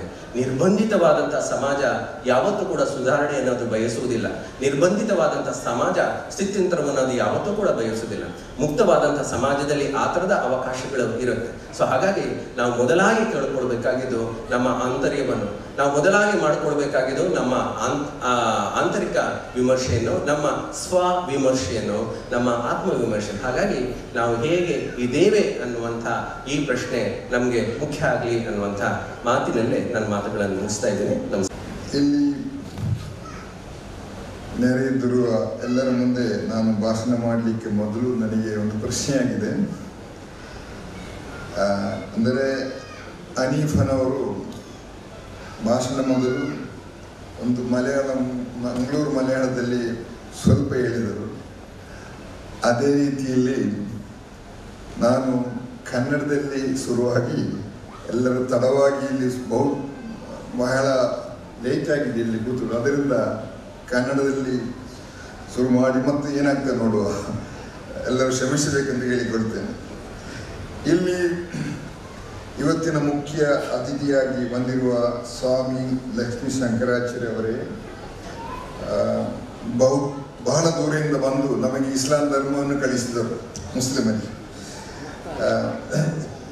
ಜನಾ ಮೊಹಮ್ಮದ್ ಇಕ್ಬಾಲ್ ಮಲ್ಲಾ, ರಾಷ್ಟ್ರೀಯ ಕಾರ್ಯ ಕಾರ್ಯದರ್ಶಿ ಜಮಾತ್ ಇಸ್ಲಾಮಿ ಹಿಂದವರೇ ಖ್ಯಾತ ಕಾದಂಬರಿಗಾರರು ವೀರಭದ್ರಪ್ಪ ಅವರೇ ಸಂ ಸಹ ಸಂಪಾದಕರು ಪ್ರಜಾವಾಣಿ ದೈನಿಕ ಬಿ ಎಂ ಹನೀಫರ್ ಅವರೇ. ಪ್ರಾಧ್ಯಾಪಕರು ಅಧ್ಯಯನ ಸಂಸ್ಥೆ ಮಂಗಳೂರು ವಿಶ್ವವಿದ್ಯಾಲಯ ಪ್ರೊಫೆಸರ್ ಬಿ ಶಿವರಾಮ ಶೆಟ್ಟಿ ಅವರೇ. ಜನಾಬ್ ಮೊಹಮ್ಮದ್ ಅತಾವುಲ್ಲಾ ಶರೀಫ್ ಅಧ್ಯಕ್ಷರು ಶಾಂತಿ ಪ್ರಕಾಶ ಕರ್ನಾಟಕ. ಜನಾದ್ ಮೊಹಮ್ಮದ್ ಕುಂಜಿ ಪ್ರಧಾನ ಕಾರ್ಯದರ್ಶಿ ಸಿರತ್ ಅಭಿಯಾನ ಸ್ವಾಗತ ಸಮಿತಿ ಅಧ್ಯಕ್ಷ ಕನ್ನಡ ಮತ್ತು Sharif ಸಾವರೆ. Vice president Amit sir Ashraf ಸಾವರೆ ಮೊ ಅಯ್ಯ ತಂಗ ಮತ್ತು ವೇದಿಕೆಯಲ್ಲಿರುವ ಎಲ್ಲ ಮಹನೀಯರೇ ಮತ್ತು ಇಲ್ಲಿ ಬಂದಿರುವ ಎಲ್ಲ ಬಂಧು ಮಿತ್ರರೇ ನಾನು ಇನ್ನು ಇಷ್ಟು ಕನ್ನಡದಲ್ಲಿ ಮಾತನಾಡಿ ನಿಮ್ಮ ಸೌಕರ್ಯಕ್ಕೆ ಮತ್ತು ನನ್ನ ಸೌಕರ್ಯಕ್ಕೆ I am switching over to English the idea behind is that will get more time and can go home fast. If I start speaking in Kannada, it will take another half an hour more. But what is the time given to me will be much less. so I can finish the whole thing so that he can also go home as early as possible. What I am going to talk, because we have already heard enough about Prophet Muhammad from various speakers, particularly the non-Muslims.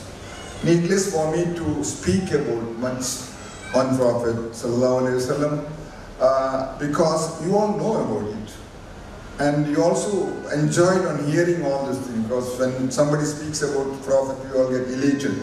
So a lot of clapping was there and all. It's normal, natural for human beings. But I am not going to touch more on that. I am going to touch on the symposium of today's subject of Prophet.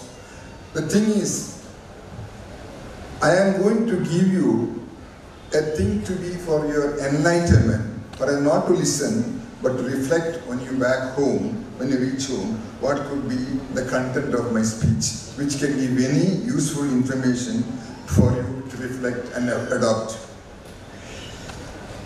Please keep good attention. I hope you all will understand. We are in the beginning of 21st century. The last century ended in industrial revolution. This century starts with knowledge revolution.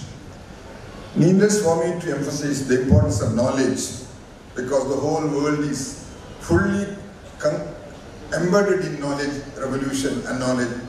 Need not for me to speak all of the things. You are in the information age now. Travel is very easy for us. Diseases are easy curable. Information instant. All of you have this mobile with you. You don't have to go to library. It's available on a mobile. The whole thing, what is happening around the world, and what you want to know about whatever you like, it is available on your mobile phone. So much advanced we are. And we are going to the next stage of another era of development which you don't know is going to be very catastrophic. That is what is called the artificial intelligence. What is artificial intelligence? It's not the time to talk, but you are going to face this and perhaps will benefit also you may lose, lose your humanity out of this. So all level we have proved to such tremendous level. The, we are of the best era of human history of civilization. Everything is at a very comfortable stage. We have progressed to such a high level. We can be very proud of our civilization. But on the human level, how far you have progressed? The violence you see, the hatred, the prejudice, all the things which our eminent speakers have just highlighted for you. The hatred, the prejudice, the war, the First World War, the Second World War, the Gulf War, and the continuous war taking place around the world. Millions and millions of people are dying. How far you have uh, uh, progressed to the human level? A very eminent philosopher of 20th century, Bertrand Russell, has said that human beings has reduced to the level of beast. I feel the beasts are better than human beings because a beast never kills a fellow beast. Have you seen an elephant killing a fellow elephant? Have you seen a cow killing, killing a fellow cow? It's only human beings who kill the fellow species. So we are worse than animals. Animals are more human. So much so, we are on the retrogression going back. So, what is the present position? The world is so small. Like an aircraft, we are all moving together. The earth is moving in a very enormous speed. If something goes wrong in the aircraft, it may crash. So also, the earth may crash any moment by something wrong behavior of our human beings. So what is the most needed things today? There are two needs as identified. The one need is knowledge. The other one is leadership. Knowledge, as I was telling, we are in the 21st century with the knowledge revolution. Nowhere in history has got such knowledge abundance, but incomplete. There are two types of knowledge. The agnostic, they are there, please bear with me. One is called the acquired knowledge, which we get from school, colleges, universities, research foundation, all etc. Acquired through senses and understanding. Is called the acquired knowledge. There is another knowledge which is called divine knowledge.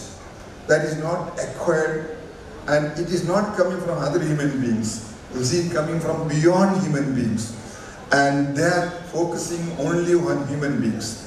The acquired knowledge is focusing all about other things, including human beings, but human, uh, divine knowledge focuses only on human beings. These knowledges are in various scripture and the role in various religions. The Vedas of Hindus, the Bible of the Christians, and the Quran of Muslims. They contain this divine knowledge. And mind you, it is only by the, and they focus on human beings and humanities. And only by the foundation of this divine knowledge, if the acquired knowledge is built, the human can sustain their civilization. Otherwise, we may crash at any moment as the aircraft can crash unseemly at any time. So also the earth may crash also similarly. Now, you are all enjoying democracy, something what we call in this modern age. If you are a Democrat, it's the best country in the world. The history of democracy is something which you all know. It's an evolution taking place in the West against the kings and also against the church.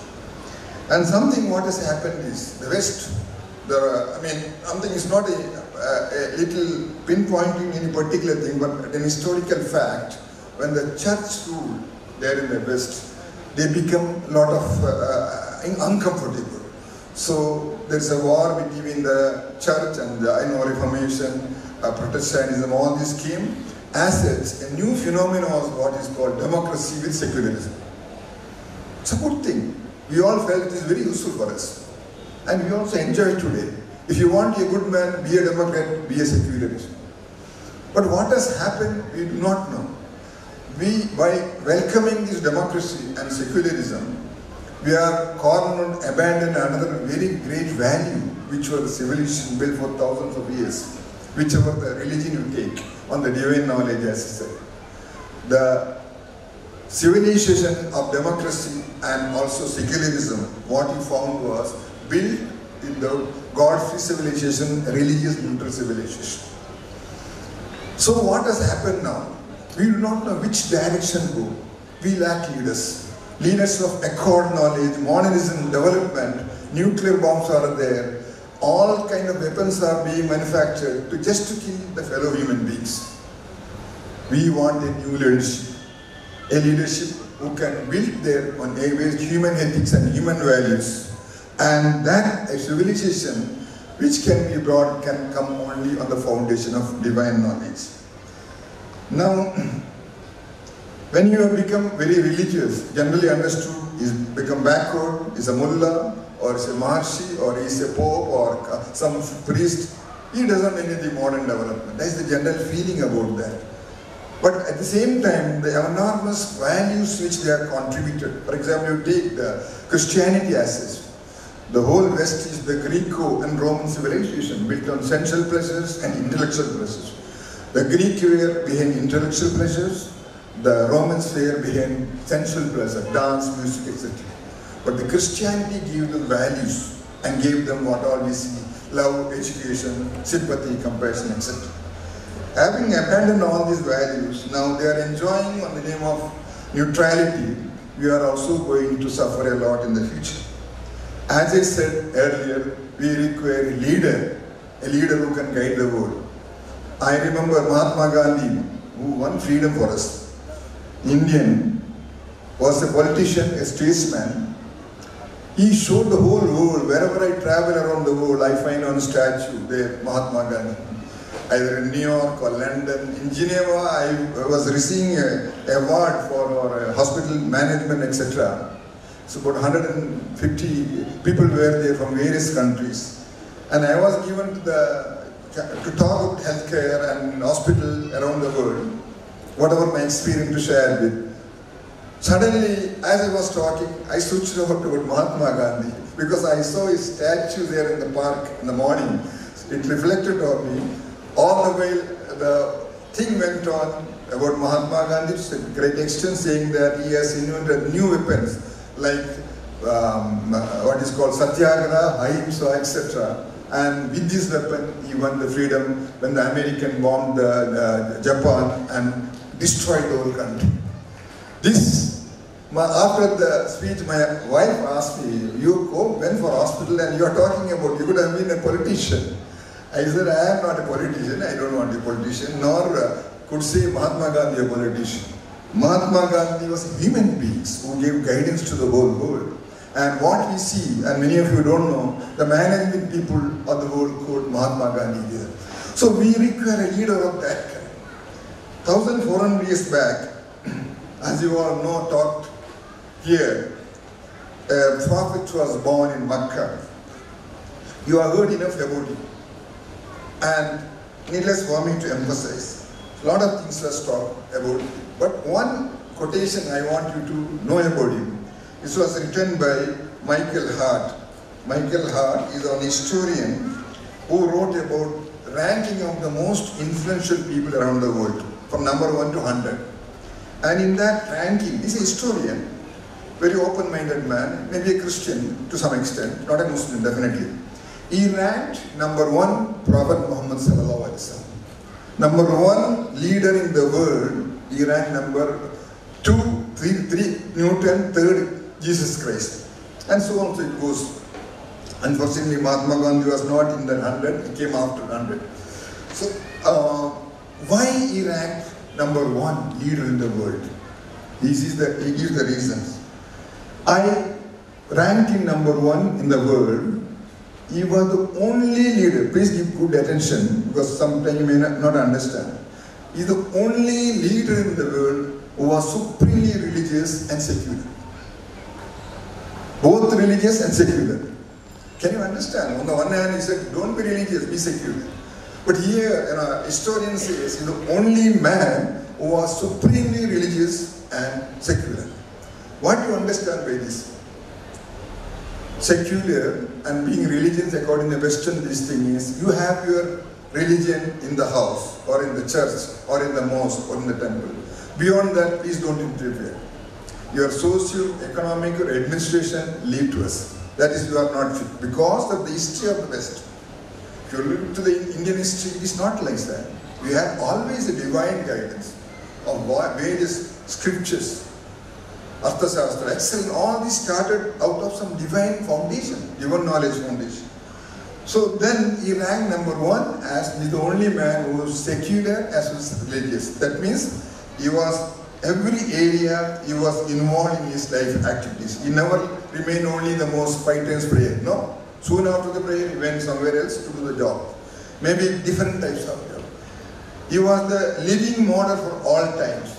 He was a commander, a warrior, a businessman, a preacher, a statesman, a reformer, an orator, the of slaves, the protector of women, judge, and many, many things more.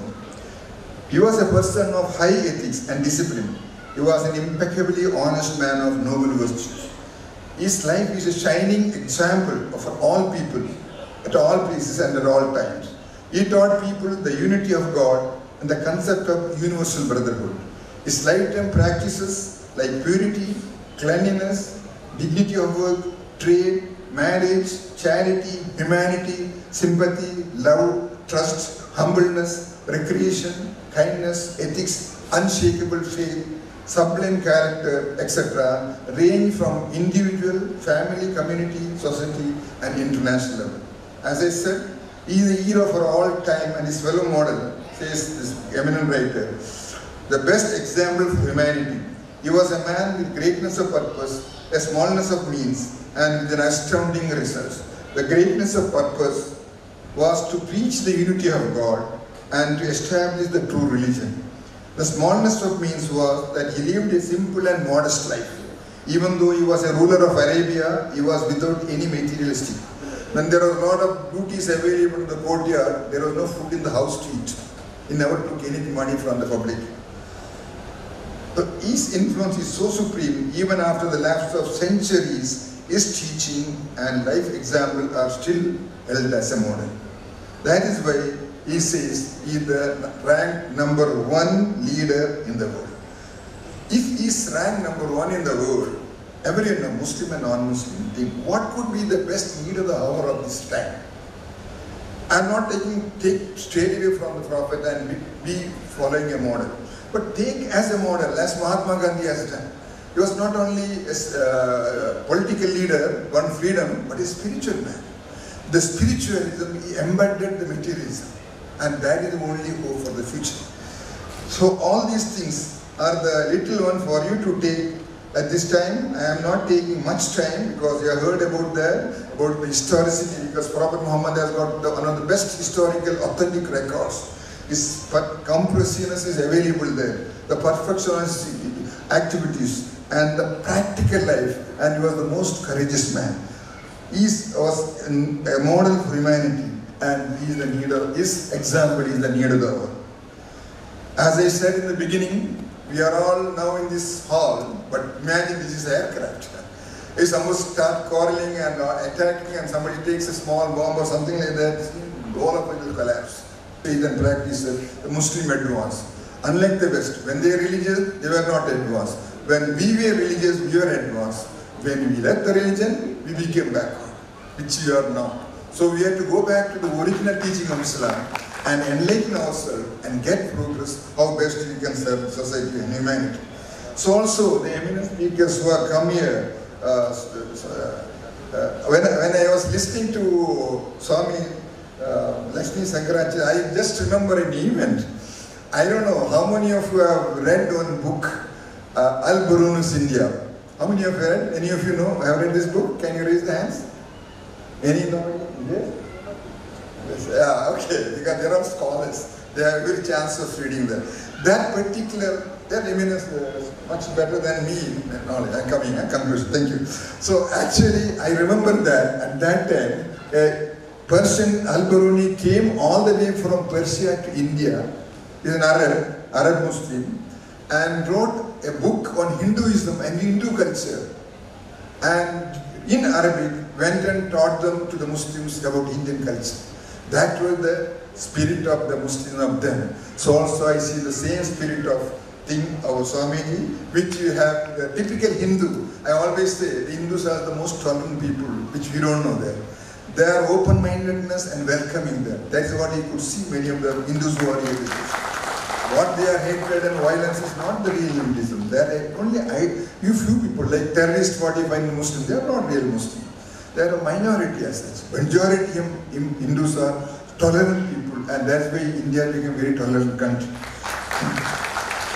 So also I'm very much enlightened with, uh, by Veerabhadrappa, Shivaram Shetty, uh, and Anip Saab, and also Muhammad Kuni, all the people and all other who are co- co- cooperated for this beautiful function.